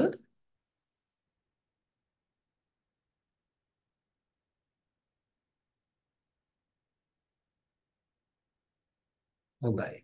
එහෙමනම් එතකන් අපි අපේ දහම් සෙවනේ ස්වාමීන් වහන්සේ නැවත සම්බන්ධ වෙනවා. අවසරයි පින්වත් ස්වාමීන් වහන්සේ මේ එහෙමයි. කරුණු කාරණා ඉතින් බොහොමයක් තියෙනවා වහන්සේත් එක්ක සාකච්ඡා කරන එක හරි වටිනවා මිනිස්සුන්ට මේ වෙලාවේ. හිතක් නිවෙන තැනකට නිවීමකට පත් වෙන තැනකට පිරෙන ධර්මයක් තමයි පාරමී ධර්මයක් වෙන්න ඕනේ. එහෙම නැතුව අපි වෙන මොනවාගෙන් පිරුණත් මට හිතෙනවා මේ කාලේ වැඩක් වෙන්න. නිකන් අපතේ යනවා ඒක විවිධ විවිධ දේවල් පුරවා ගන්න පුළුවන්. නිවෙන්නට අවශ්‍ය කරන නිවි සැනසී සිටින්නට අවශ්‍ය කරන ධර්මයක් පිරෙනවද කියන එක තමයි මේ පාරමිතා ගණයෙන් මොකද මේ පාර මිතා කියලා ගන්නකොට ගන්න අර වහන්සේ අපිට පෙන්වුවා මුලදිම මේ පාර කියලා කියන්නේ මේ ඊතර වෙන තැන තත්වයක යන ධර්ම ටික. ඒ කියන්නේ පාරගතෝ බල වීය සමංගී කියලා මේක ඒ ගුණයත් එක්ක බලනකොට පාරගත ස්වභාවය කියලා කියන්නේ හරීම වටිනා කාරණා ටිකක්. බෝසතාණන් වහන්සේ මේවා හිමින් හිමින් හිමින් හිමින් තමන් තුළ උපදවගෙන කාටද උදව් නොකළේ? හැම සත්වයකටම මම හිතන්නේ උදව් කරපු බවනේ තියෙන්නේ. හරගේ හඬ චොට්ටක් ඇහෙනවා මදි. සද්ද අඩුයිද අපේ ස්වාමීන් ඒ ගානට කතා කළොත් ඇහෙනවා. හරි හරි. එතකොට මේකේ මට හිතෙන්නේ අපි එහෙම හිමින් හිමින් යන කතාවක් කියලා එහෙම ආපු හැමදාම සසරේ අපි එහෙම හැමතෙනෙක්ම යමක් පුරවගෙන ආපු ස්වභාවයක් නිසා තමයි මට හිතෙන්නේ මේ අවශ්‍ය දේවල් අවශ්‍ය තැනට මුණ ගැහෙන්නේ. එතකොට දැන් කෙනෙකුට බය වෙන්න දෙයක් නැහැ. පාරමිතා පුරන කතාවේ අවංකවම ඇත්ත තත්ත්වයක ඉන්නවා නම් එයා කරන උපකාරයේ තව කෙනෙක් වැරදි තැනකට අරගෙන නිකන් අනවශ්‍ය දේ කරනවාද කියන එකට යන්නේ හුඟක් වෙලාවට මේ වංචාවකට හසු වෙන්නේ අපි එහෙම රැවටෙලා තැනින් බේරෙන්න තරම් අපිට පිරිච්ච ධර්මයක් නැති නිසා. එතකොට අපි රැවටෙන තැනකට යනවා වෙනුවට අපිට ප්‍රසිද්ධිය නෙමෙයිනේ දැන් ඕනේ. මම මෙහෙම දෙන කෙනෙක් කියලා ප්‍රසිද්ධ වෙන්න ඕනේ නැහැ. මම අහවලුන්ට මේ විදිහට මේ විදිහට උදව් කරන කෙනාය කියලා ප්‍රසිද්ධ වෙන්න ඕනේ කමක් නැහැ. එතකොට එයාට ඒ ප්‍රසිද්ධියට හදාගෙන ඊට පස්සේ ඒකට එන අය හොය හොයා බල බලා එයාලා ප්‍රයෝජනෙ ගන්නවද නැද්ද කිය කිය හොය හොයා දෙන්න ගියාම මේක සම්පූර්ණ කෙලස් ගොඩක් වැඩෙනවා හිතේ. මට හිතෙන්නේ ස්වාමීන්ස හිත නිදහස් වෙන තැනකට යනවට වඩා පැටලීමකට ඇති වෙනවා. ඒ නිසා උදව් එක එක්කෙනාට මම මේක හැමෝටම පටවන්නේ මේ ක්‍රමය මොකද එක එක්කෙනා ඉන්න තැන අනුවයි ඒ ධර්මයේ පුරවගෙන පුරවගෙන එන්නට ඕනේ. මං කැමති අපේ ස්වාමීන් වහන්සේගේ මේ දේශනා ටික අවසාන හරියට නිමීගට යන්න පිරිසක් හැදෙන අයට වැඩි උපකාරයක් සැලසේද යොදා ගන්නවා. මොකද අනිත් කොටස් ටික පුරවන්න ගක් දේශනා යොමු වෙනවා කට්ටිය. මේ හිතේ නිවීමට බර වෙලා නිවන් මගට යොමු වෙලා කරුණුකාරණා ටිකක් පැහැදිලි කරගන්න තැනකට තමයි අපිට දේශනා ටිකක් අහගන්න නැති සාකච්ඡාවක් ඉවර වෙලා නැත්තේ. ඒක ඔබ වහන්සේ සපිරෙව්වා අපිට මට උණ ගැසුනේ බොහොම මෑතක. ඉතින් මම බොහොම වන්දනීය පූජනීය උත්තම භාවයකින් ඇසුරු කරපු ඇත්තටම මෑත යුගයේ මම ඇසුරු කරපු මගේ ජීවිතය මම ඇසුරු කරපු වටිනාම ස්වාමීන් වහන්සේ තමයි රේණුකානේ මහානායක ස්වාමීන් වහන්සේගේ පොතපත් ටික. මම ජීවිතේ දැකලා නැහැ නමුත් පොතපත ඇසුරු කිරීම අතරින් මම දැක්ක ශ්‍රේෂ්ඨතම පොතපත ධර්මයටද ව්‍යසනයක් කරගන්න නැතුව කර්මයක් දහදා ගන්න නැතුව මිනිස්සු අතරට මිනිස්සුන්ට කාටවත් චෝදනාවක්ද නැතුව හැමෝටම ඕන කෙනාට පුළුවන්කම තියෙනවා ඒ පොතපත ලස්සනට සුන්දරව අධ්‍යයනය කරගෙන අවශ්‍ය කරන අවබෝධයට තමන්ගේ ගුණදහම් ටික නම්ගන්න. ඉතින් ඒක මං මගේ ජීවිතේ ඒක ලොකු පිටුවහලක් වුණා ස්වයංංශ. ඒක නිසා උන්වහන්සේගේ පොතපතට පවා මං ගරු කරන්නේ මේ මේ ගොඩාක් මම කතා කරන්නේ මට මං ගැන කියන්න වඩා මං අකමැති එකට අපේ මේ අහන පින්වතුන්ට ලොකු මේ මේ දෙයක් ගන්න පුළුවන් තැන මම දැන් පෙන්වන්නේ. මුළු දැන් මේ සාමාන්‍ය ගිහි බවතුන්ට අපි ස්වාමීන් වහන්සේලා නම් ත්‍රිපිටක ධර්මයේම හදාරන්න විවේක කාලය අරගෙන තියෙනවා සමහරට කැපවීම කරගෙන තියෙනවා ත්‍රිපිටක ධර්මයේ දැන් සත්‍ය ප්‍රකරණම විග්‍රහ කරගෙන අපි ධර්මයේ ඉගෙන ගන්නවා එහෙම නෑ අපේ ගිහි උපාසක අම්මල තාත්තලාට. ගොඩාක් වෙලාවට එහෙම සත්‍ය ප්‍රකරණ විවරණයක් ගැන හොයන්න හදන්න තේරෙන්නේ නෑ. කියවන්න අරගෙන පොඩි ඡේදයක් කියවනට එපා වෙනවා. එතකොට ගැඹුරු කොටස් ගැඹුරු ධර්ම කොටාස විවරණ කරගන්න තේරෙන්නේ. ඉතින් ඒ වගේ දේවල් වලට අපේ රේණුකානේ මහානායක ස්වාමීන් වහන්සේ හරි ලස්සනට අභිධර්මයට ප්‍රවේශ වෙන්න ඕන කොටස ඒක අභිධර්ම මාර්ගය විග්‍රහ කරන එක. ඊට පස්සේ තව ටිකක් ගැඹුරට යනකොට කොහොමද එන්න ඕනේ? මේ හැම දෙයක්ම ලස්සනට විවරණය කරලා එතකොට මේ සියල්ලටම හොඳම ක්‍රමය හැදෙන්නේ මම හිතනවා සන්නංශ මේ පාරමිතා ප්‍රකරණය හරහා තමයි. ඒ කියන්නේ ඒ පාරමිතා ප්‍රකරණයෙන් තමයි ඒ සත්‍යෙක් සංසාරිකව හැදිලා යන රටාව අපිට අඳුරගන්න ලැබෙන්නේ. ඒකේ දාන පාරමිතාව නම් ස්වාමීන් වහන්සේ මට දැනෙන්නේ හරියම පුළුල්. අපි ස්වාමීන් කවුරු හරි කෙනෙක් සාකච්ඡා කරන්න ආවොත් මට දැනුවත් කරන්න. ආ අරුන්දති ડોક્ટર නැවත සම්බන්ධ වෙලා ඉන්නවා. හරි එහෙනම් අවස්ථාව දෙන්න ඇහෙනවද? අවසරයි ස්වාමීන් වහන්ස මම මේ ප්‍රශ්නය අහන්න හිටියේ ස්වාමීන් වහන්සේගෙන් ගල් ගුහාවක තනියම වැඩවසන තරුණ ස්වාමීන් වහන්සේ කෙනෙක් හුඟක් තරුණයි අවුරුදු 20ක වගේ ඒ වගේ වයසක කින්ඩල් එකක් එකපාරක් ඉල්ලලා තිබ්බා. තවත් මහත්මයාගේ කගේ අතින්. ඉතින් මම මේක එක මොහොතින්ම එක පායින්න ඇහෙනවද ස්වාමීන් වහන්සේ? ඔව් මොකද්ද ඉල්ලලා තිබුණේ? Kindle එකක් අර සූත්‍ර පිටකය ඔක්කොම ඒකට දාගෙන යාට පොතක් වගේ එතකොට සූත්‍ර පිටක පොත් ඒ ගල් ලෙනට උස්සගෙන යන්න හරි අමාරුයි. ගමේ ඉඳලා ගල් ලෙන තියෙන තැන ඉතින් මම එක හිතින්ම ආයෙ දෙපාරක් හිතුවේ නෑ Kindle එක දවස් 3කින් විතර මෙහි පිට රටින්ම ගෙන්නලා ගෙන්නන්න විදිහක් තිබුණා. ඉතින් ගෙන්නලා දුන්නා. ගොඩාක් සතුටින් ගෙන්නලා දීලා ස්වාමීන් වහන්සේත් බහැ දැකලා ස්වාමීන් වහන්සේගේ විස්තර අහලා ඉතින් ගොඩක් සතුටුුණා. ඉතින් ඊට පස්සේ මම පිටරට ආවා මේ පුතාගේ ගෙදර. ඊට පස්සේ මට නැවත එම මහත්මිය මේ කියන්නේ පින්කම කරන්න සැල මේ සැලැස්වුණ මහත්මිය තමයි මාත් එක්ක නිතරම කිට්ටුවෙන් ආශ්‍රය කරන මහත්මිය කෙනෙක්. ඒ අහලා තිබුණා තව තරුණ ඒ වගේ ස්වාමීන් වහන්සේ දෙන්නේ කැලෑවල් දෙකක වෙන තැන්වල වැඩ වාසය කරන්නේ. මෙහෙම ලබා ගන්න පුළුවන් වේද කියලා. ඉතින් මට එකපාරම කියන්නේ ආය දෙකක් හිතන්න උනේ නැහැ. මට ඒ දවස්වල මම කියවලා තිබුණා අර තේරවාද බෞද්ධ භික්ෂුන් වහන්සේලාට ඉගෙන ගන්න තැනකුත් ආරණ්‍යයක් ගැනත් අහලා තිබුණා. අවුරුදු 6ක් ගිහිල්ලා එතන ඉගෙන ගන්න ඕනේ. ඉතින් මම දන්නේ ඒකද මගේ හිතේ වැඩ කරේ නැත්නම් මහාචාර්යවරයෙක් වශයෙන් ඉගෙනීම ගැන තිබුණ හිතද මොකද්ද දන්නේ මට හිතුණා මේ ස්වාමීන් වහන්සේලා මම අඳුරන්නෙත් නැහැ. දැන් ආයෙත් මේක ලබලා දෙන්න අවශ්‍ය නැහැනේ කියලා එකපාරම මම මේ පින්කමට සතුටක් පෙන්වුවේ නැහැ. මගේ යාළුවට මං කිව්වා මම සතුටු නැහැ.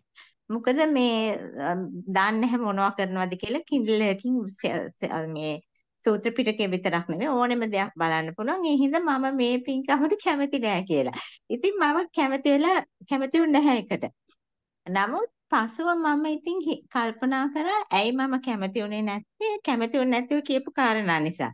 මම අඳුරන්නේ නැහැ ස්වාමීන් වහන්සේලා කවුද කියලා අනිත් එක කිඩ්ලස් අවශ්‍යද අවශ්‍යම දෙයක්ද? මේ ස්වාමීන් වහන්සේට දුන්න එක වෙනම දෙයක්. ඒ ස්වාමීන් වහන්සේ අඳුරන තව ස්වාමීන් වහන්සේලා දෙන්නෙක් මේ. ඉතින් එවැනි අවස්ථාවක ස්වාමීන් වහන්සේ කොහොමද අපි අවබෝධ කරගන්නේ? කියන්නේ මම කරන්නේ හරි දෙයක්ද වැරදි දෙයක්ද කියලා අවබෝධ කරගන්නේ කොහොමද කියලා? ඒක ඒක ඉතින් ඇත්තටම පහසු දෙයක් නෙමෙයි. දැන් අපට වුණත් ওই ගැටලුව මතුවෙනවා. දැන් යම් යම් දේවල් ඉල්ලනකොට මේ සැබෑ අවශ්‍යතාවය නිසාද ඉල්ලන්නේ මේකෙන් ඒගොල්ලන්ට හානියක් වෙනවද ඒවා විනිශ්චය කරගන්න පහසු නැති අවස්ථා. ඉතින් එහෙම වෙනකොට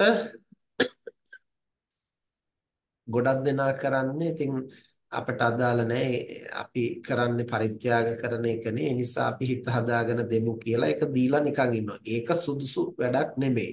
මොකද අපි දාණයෙන් බලාපොරොත්තු වෙන්නේ Taman සන්තක දෙයින් අනුන්ට යහපතක් කිරීමනේ.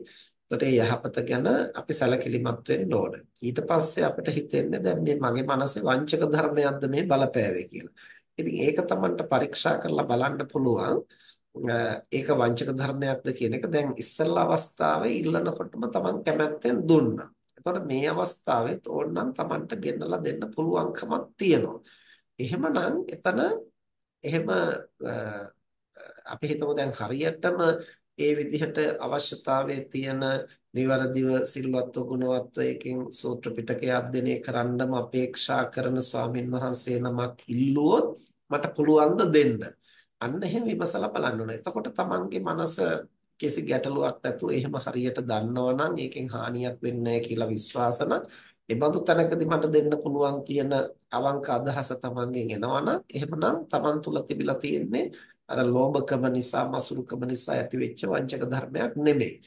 එහෙමනම් එතන තියෙන්නේ අර මුලින් කතා කළා වගේ සැබෑවටම එහා මුදුරුවට මේකෙන් යහපතක් වෙයිද අයහපතක් වෙයිද කියලා මම දන්නේ නැහැ. ඒ නිසා එහෙම නොදන්න තැනකට දෙන්න බෑ කියන අදහස.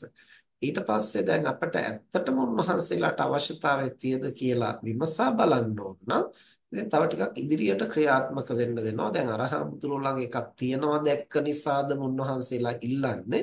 එහෙම නැත්නම් ඇත්තටම අවශ්‍යතාවයක් තියෙන නිසාද? එතකොට උන්වහන්සේලාට ඒක ලබා දුන්නොත් ඒ තුලින් විනාශයක් වෙන එකක් නැද්ද?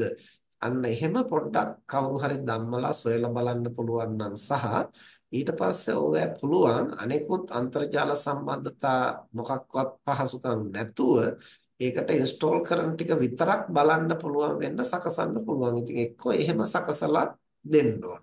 අන්න ඒ විදිහේ උපායශීලී ක්‍රියාමාර්ගයකට යන්න වෙනවා. මොකද නැත්තම් ස්වාමින් වහන්සේලා උනාට උන්වහන්සේලාගේ මනස කොයි මොහොතේ පෙරලෙනවද කියලා අපි දන්නේ නැහැ. අර වගේ අවශ්‍ය පහසුකම් Taman අතට එනකොට. ඒ නිසා ඒ ගැන දායකයෝ හැටියට සැලකිලිමත් වෙන්නම ඕන අනිවාර්යයෙන්. එහෙමයි සම්නස්. පැහැදිලි ස්වාමීන් වහන්සේ. තෙරුවන් සරණයි. බුද්ධික මහත්මයා බුද්ධිනී මහත්මිය අවසරයි ස්වාමීන් වහන්සේ. ඔව්. මේකත් අර මේ විසල ප්‍රශ්න වගේ ටිකක් හැබැයි මං දැන් වැඩිම දැන් කාලේ ගොඩාක් අයනවා ගෙදරට නැත්තං පාරේ ඇවිල්ල යමක් ඉල්ලනවා. එතකොට ස්වාමීන් වහන්සේ සමරක් වෙලාවට දෙන්න කැමති වුණත් දැන් මෙතන ඒ වැඩිම ගෙදරට එන කට්ටිය දෙන්න පටන් ගත්තම ගොඩාක් කට්ටිය එන්න බලනවා.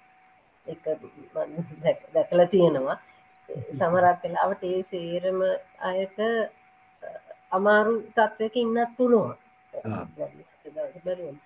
හැබැයි ඕක එතකොට ප්‍රශ්නයක් වෙනවා. ඉතින් එතකොට නොදී ඉන්න හිතෙනවා. සයි කල්ලා එතකොට මන් සමහරක් වෙලාවට හිතනවා දැම් මෙතන ගැටලුවක් කරගන්න ඇතුව දන්න කට්ටි ඉන්න වනේ ප්‍රශ්නයක් තියෙන එහෙම උදව් උදව් අවශ්‍ය කට්ටිය එහෙම කරලා එතකොට මං නිකන් තෝරලා දෙනවා වගේ. එතකොට මට මෙතන ප්‍රශ්න තියෙන දෙකක් තියෙනවා. එකක් එහෙම තෝරලා දෙන එකේ මොනහරි එතන අවධානමක් තියෙනවද? ඒක ගැන කොහොමද කටයුතු කරන්න ඕන? අනිත් එක මේ මෙතන වංචක ධර්මයක් තියෙනවද මං? ඔහොම හිතුවට ඇත්තට මං දෙන්න අකමැතිද ඒව ගැන කොහොමද ඇත්තටම දැන් වංචක ධර්මයක් එතන ක්‍රියාත්මක වෙනවද නැද්ද කියන එක අපි කාටවත් එහෙම නිශ්චිතව කියන්න පුළුවන් කතාවක් නෙමෙයි දැන් අපේ මනසේ වුණත් වංචක ධර්ම ක්‍රියාත්මක නොවෙනවයි කියලා අපිට කියන්න බෑ. ඒවා ඕනම මොහොතක අරහත්ත්වයටපත් වෙන තෙක්ම අපේ මනෝභාවයන් අපිට හඳුනා ගන්නට බැරිකම නිසා විවිධ වෙනස් මනෝභාවයන් අපි කුසල මනෝභාවයන් හැටියට වරදවා වටහා ගන්න පුළුවන්. ඒක ගිහි පැවිදි කතාවකුත් නෑ ඒකට යෝන කෙනෙක් අතින් ඒ ගැටලුව මතුවෙන්න පුළුවන්. ඒ වගේම එක් අවස්ථාවක වංචක ධර්මයක් මතුවුණා කියලා අනිත් හැම අවස්ථාවෙදිම මතුවෙන්නේ වංචක ධර්මයක්මයි කියලා එහෙම කියන්න පුළුවන්කමකුත් නැහැ. ඒ නිසා අපි අපේ මනස ගැන විමසලා බලන්න ඕන සැලකිලිමත්ව ඒ ඇතිවෙච්ච මානසික தත්ත්වය මොකක්ද කියලා තේරුම් ගන්න. ඒක ඒක වෙනම පැත්තක්. අර දිය යුත්තේද නැද්ද? එතකොට ඒ දීමෙන් හොඳක්ද වෙන්නේ වංචනිකයෝ පිරිසක් බිහි වෙන එකද? කියන කියලා විමසා බැලීම ඒක වරදක් නෙවෙයි. ඒක අපි විමසලා බලන්න ඕන. මොකද බුදුහාමුදුරෝ විමසා බලා දන් දීම සුදුසුයි කියලා කිව්වේ දීලා ඉවර වෙලා පස්සේ අපි පසුතැවෙන එක නෙමෙයි.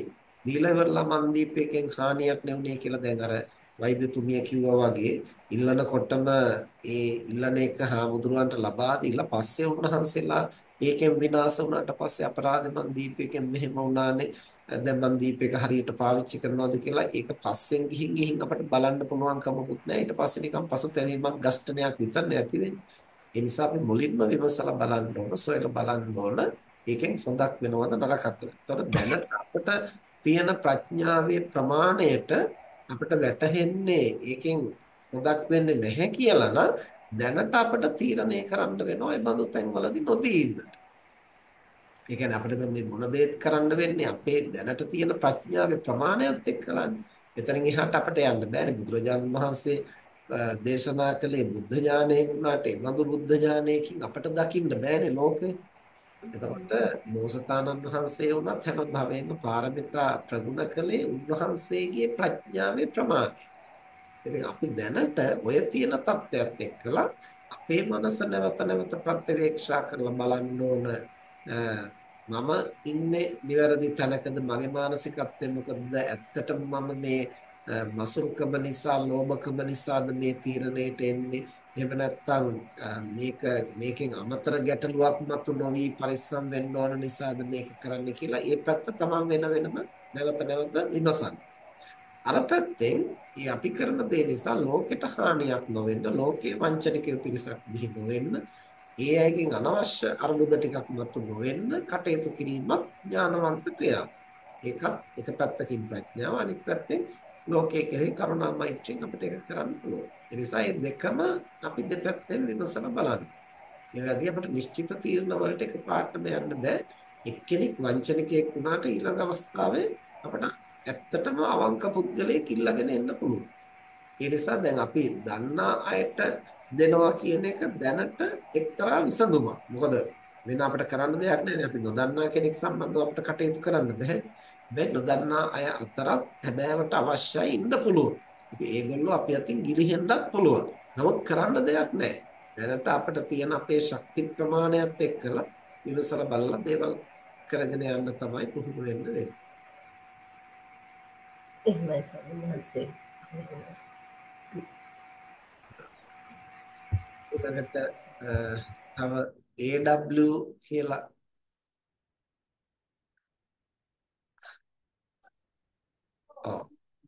ගෞරවනීය ස්වාමින් වහන්සේ අවසරයි. මම හිතන්නේ මේ ප්‍රශ්නේදී මම මේ අහන ප්‍රශ්නේදී අපි දැන් මට දැන් ඔබ වහන්සේ මේක එක්කපු දේශනාවෙන් පැහැදිලි වුණා. අපි අපිම හිතලා බලන්න ඕනේ.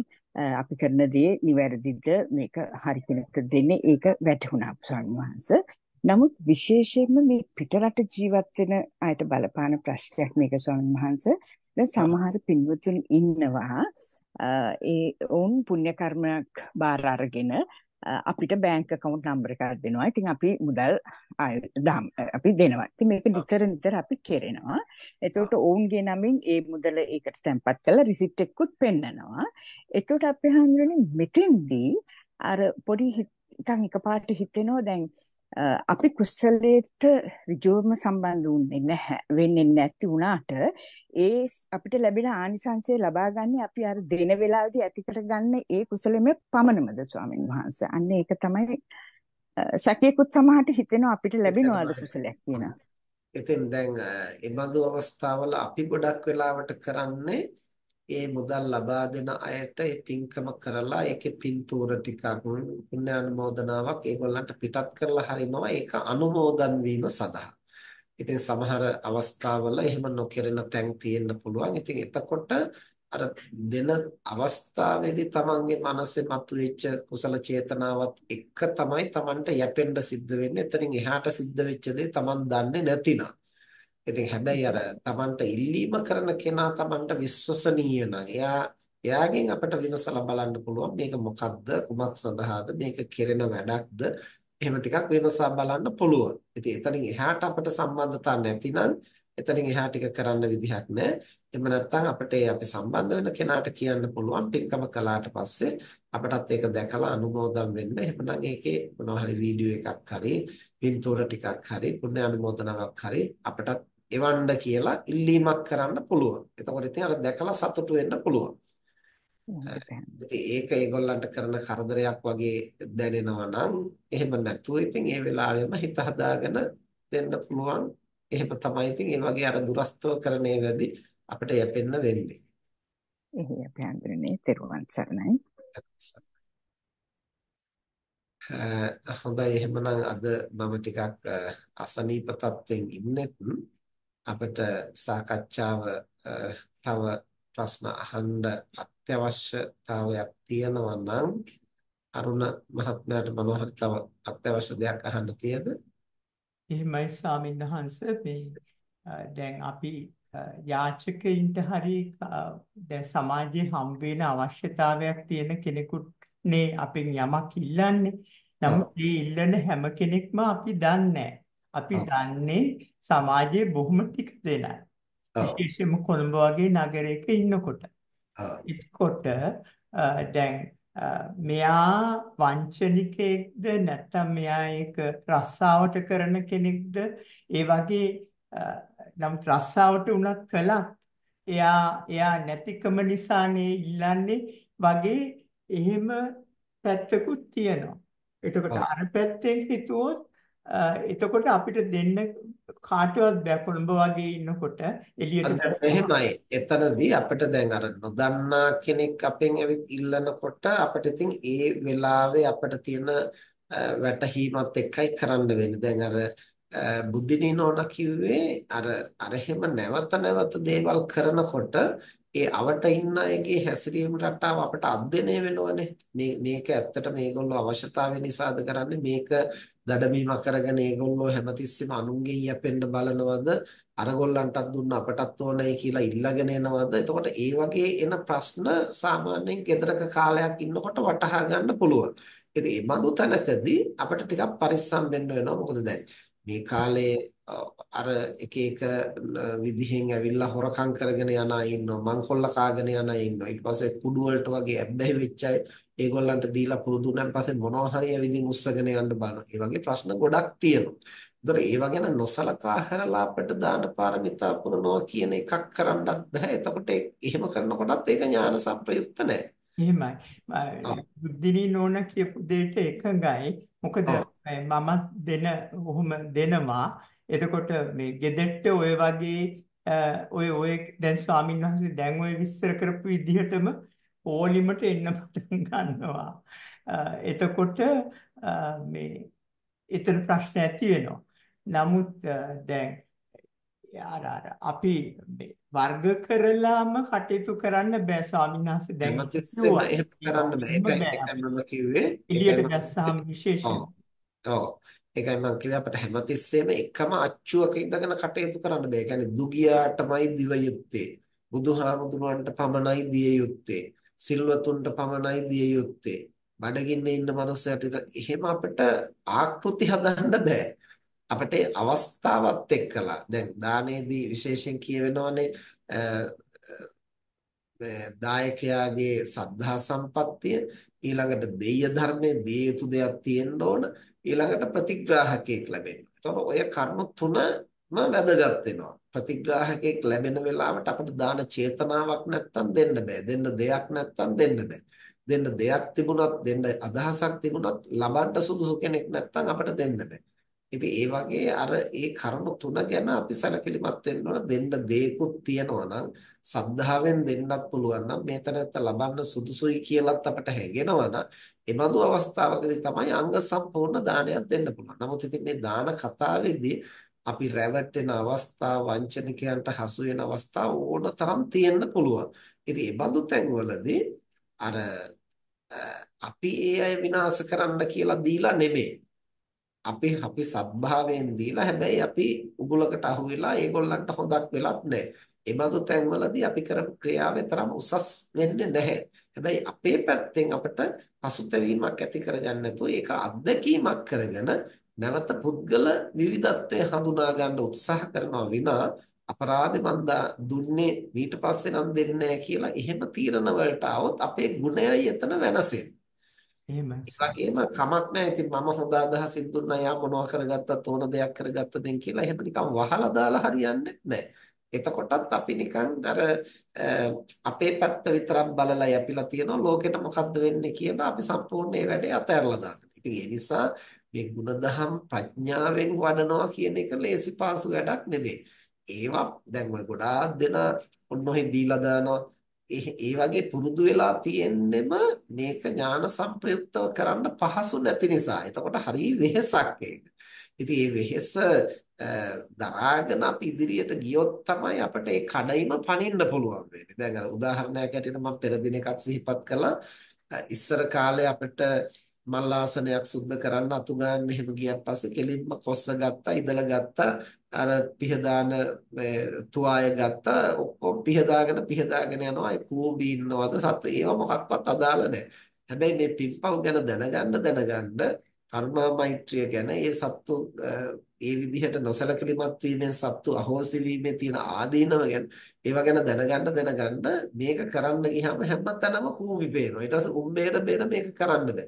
එතකොට වැඩේ අතහැරලා දාන්න ඕන එක්කෝ නැත්තම් ධර්මයේ කියවන්න නැතු ඒ දෙකම පිළියම් නෙමෙයි. ධර්මයේ කියවලා දැනගන්නත් ඕන අර වැඩේ කරන්නත් ඕන. දැන් ඕක කරන්න හරි අපහසුයි. හැබැයි ඉතින් ඔය අත්දැකීමට මූණ දීලා මූණ දීලා මූණ දීලා තමයි අපි කොහොමද මනස සමබර කරගෙන මේ වැඩේ කරන්න කියලා. එතකොට තමයි අර කවුද කුක්කුට මිත්ත වැද්දත් එක්කලා සරණ ගිය සෝවාන් ඵලලාභී කාන්තාව එතකොට සැමියා සත්තු ඝාතනය කරනවා කියලාත් දන්නවා මේ අවියාවද ගෙනියන්නේ ඒකටයි කියලාත් දන්නවා හැබැයි ඒ කිසිවකට Taman මනසින්වත් සම්බන්ධ නොවේ උදේට අවියාවද ටික අරගෙන අතට දෙන්න පුළුවන් මට්ටමකට ඇය මනස සකසගෙන තිබුණා. ඉතින් ඒ මට්ටමට එන්නේ අර එහෙම ඒ පුහුණු වෙලා පුහුණු වෙලා තමයි. එහෙමයි ස්වාමීන් ඉතින් ඒකට අර දුෂ්කරතාවය විඳින්න වෙනවා. ඉතින් අපි අපි ඉන්න අපි ඉන්න තත්ත්වයක් එක්කලා අපි අපි හැමෝම ගිහි වුණත් පැවිදි වුණත් අපි හැමෝම ඔය ඔය විදිහ අර්බුදයක තමයි ඉන්නේ. ඒ කියන්නේ අපිට බැහැ පුද්ගලයෝ හරියටම තේරුම් ගන්න. ඒගොල්ලෝ නිවැරදිව ඇත්තටම අවශ්‍යතාවය මත ඉල්ලනවද වංචාවට ඉල්ලනවද කොහොමද මේක මනින්නේ? අර නැවත නැවත එන අයගෙන් අපිට ඒක හඳුනා ගන්න පුළුවන්. ඒ අනුසාරයෙන් තමයි කලාතුරකින් හම්බ වුණත් මේ අවශ්‍යතාවය තියෙන කෙනෙක්ද කියන අර ලෝකය ගැන අවදිමත්ව ඉඳීමෙන් තමයි අපිට ගොඩක් දේවල් තේරුම් ගන්න පුළුවන්කම තියෙන්නේ. ඉතින් එහෙම තේරුම් ගත්තාම අනික් අතට ආයේ ඒක අපට බාධාවක් වෙන්න පුළුවන් අපේ ගුණයට අපේ කුසල චේතනාවට. ඉතින් එතනට බාධාවක් කරගන්න නැති වෙන්නත් ඕන. එතනට බාධාවක් කරගන්න නැති වෙන්න කියලා ලෝකෙ ගැන හොයන්න නැතුව ඉඳලා හරියන්නේ නැහැ.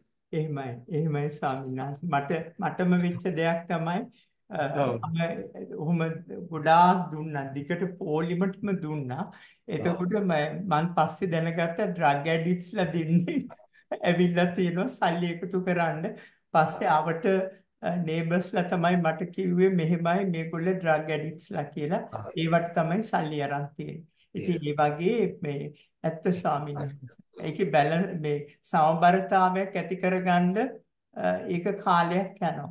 දැන් විචය දානං සුගතප්පසද්දම් විමසා බලා දන් දීම තථාගතයන් වහන්සේ අගය කරනවා කියන කාරණය මේ සිල්වතුන් හොයනවා කියන එක විතර නෙවෙයි. ඔය හැම පැත්ත ගැනම අපි පරීක්ෂාකාරී වෙන්න ඕනේ. එහෙම තමයි මේ දානය කියන එක තමන් සන්තක දෙයින් අනුන්ට යහපතක් කරන්න අපි ක්‍රියාත්මක විය යුත්තේ.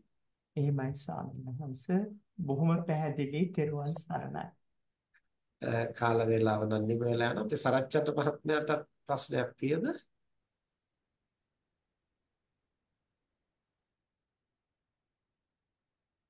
අවසරයි අපේ හාමුදුරනේ අපේ හාමුදුරුවෝ කිව්වා වගේම අර්බුදයකට ලක්වීමක් ගැන තමයි මටත් තියෙන අත්දැකීම විශේෂයෙන් ඔය සුපර් මාකට් ළඟ ඉන්න මව්වරු සහ දරුවෝ එහෙම දෙනකොට මම බොහෝ වෙලාවට අහනවා ඒ දරුවා ඉස්කෝලේ යන්නේ නැද්ද කියලා. ඒතකොට කියනවා ඉස්කෝලේ යනවා කියලා. මං කියනවා ඒක නවත්තන්න එපා කියලා. ඉතින් එහෙම දීලා නමුත් මට එහෙම තේරිච්ච අවස්ථා තියෙනවා පාසල් තියෙන දවස්වලත් මෙහෙම ඉන්නවා. ඉතින් මට එතකොට එනවා පොඩි අප්‍රසන්නකමක් මේ මහ බොරුවක් නේද මේකට දිගට දෙන්න හොඳ නැහැ. මේ ළමයා මේකට පුරුදු වෙනව නේද කියලා. අයි එහෙම නොදී හිටියාම නැවත හිතේ අර්බුදයක් එන ඇත්තටම මම මේ වංචක ධර්මයක් නේද? දරුවන් අධ්‍යාපනය ලැබිය යුතුයි කියලා ලොකු එකක් හදාගෙන ඇත්තටම මම නොදී හිටියා නේද කියලා. අන්න ඒක තමයි අපේ හාමුදුරන් එවැනි තැන්වල ඇති වෙන අර්බුදය. ඒක තමයි අවසානයේ අපිට අපේ මනසත් එක්ක පොරාල්ලන්න සිද්ධ වෙනවා ලෝකෙට වැඩිය. ඉතින් මොකද අපිට තීරණය කරගන්න බෑ අපි ඉන්නේ නිවැරදි මානසික තත්වයකද නැද්ද කියලා. ඉතින් ඔය ඔය අර්බුදයට මුහුණ දීලම තමයි ඉතින් එතන පැහැදිලි කරගන්න වෙන්නේ. ඉතින් වෙන ක්‍රමයක් නැහැ ඒක. ඒ අපේ හැමදෙන මං හිතන්නේ ඒ අර්බුදයේ දිගටම සිටීමෙන් තමයි ඔකට උත්තරයක් එන්නේ කියලා මට. ඉන්නවා වගේම විමසන්න ඕන මේ ගැටලුව නේ ඇයි මට එතනදී පුද්ගලයා හඳුනා ගන්න බැරි වුනේ. ඒතකොට වංචාවක් කරන කෙනෙකුගේ ස්වરૂපය හැසිරෙන්නේ කොහොමද? කතා බහ කරන්නේ කොහොමද? අවංක පුද්ගලයා ඉල්ලන්නේ කොහොමද? පාවිච්චි කරන වචන මොනවද? අහන ප්‍රශ්නෙට උත්තර දෙන්නේ කොහොමද? ඉරියව් පවත්වන්නේ කොහොමද? ඒව ගැන දීර්ඝ කාලයක් අධ්‍යයනය කරන්න වෙනවා.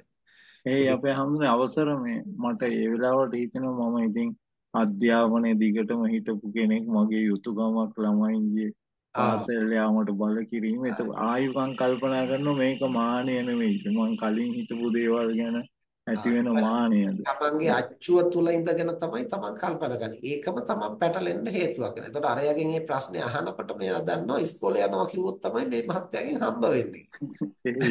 එතකොට එයාගේ උත්තරේ දෙනවා. අවසරයි අපේ හම්බුනේ. හොඳයි එහෙමනම්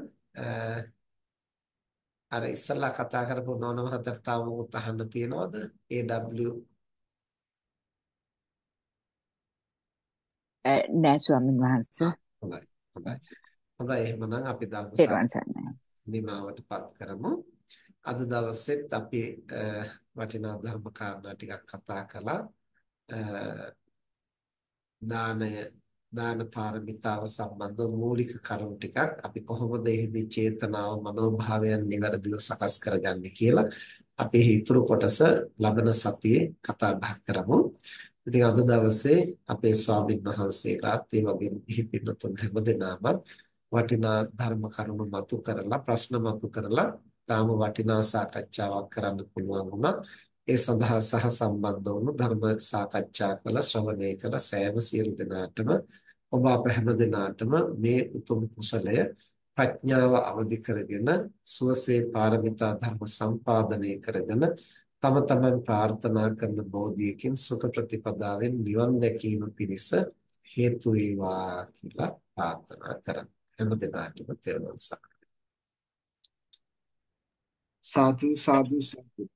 අප සියලු දෙනාගේ හිතසුව පිණිස අපගේ ප්‍රඥාව දියුණු කිරීම පිණිස පුරා පැය දෙකක පමණ කාලයක් පොවෙනුවෙන් ධර්ම දේශනා කළ සහ අපගේ ධර්ම ගැටළු වලට පිළිතුරු සැපයූ ඔබ වහන්සේට පතන්නා වූ කාලයකදී පතන්නා වූ බෝධියකින් සසර දුකින් මිදීමට මේ කුසලය හේතු වාසනා වේවා කියලා ප්‍රාර්ථනා කරනවා. සාදු සාදු සාදු. අවසරයි ස්වාමීන් වහන්සේ.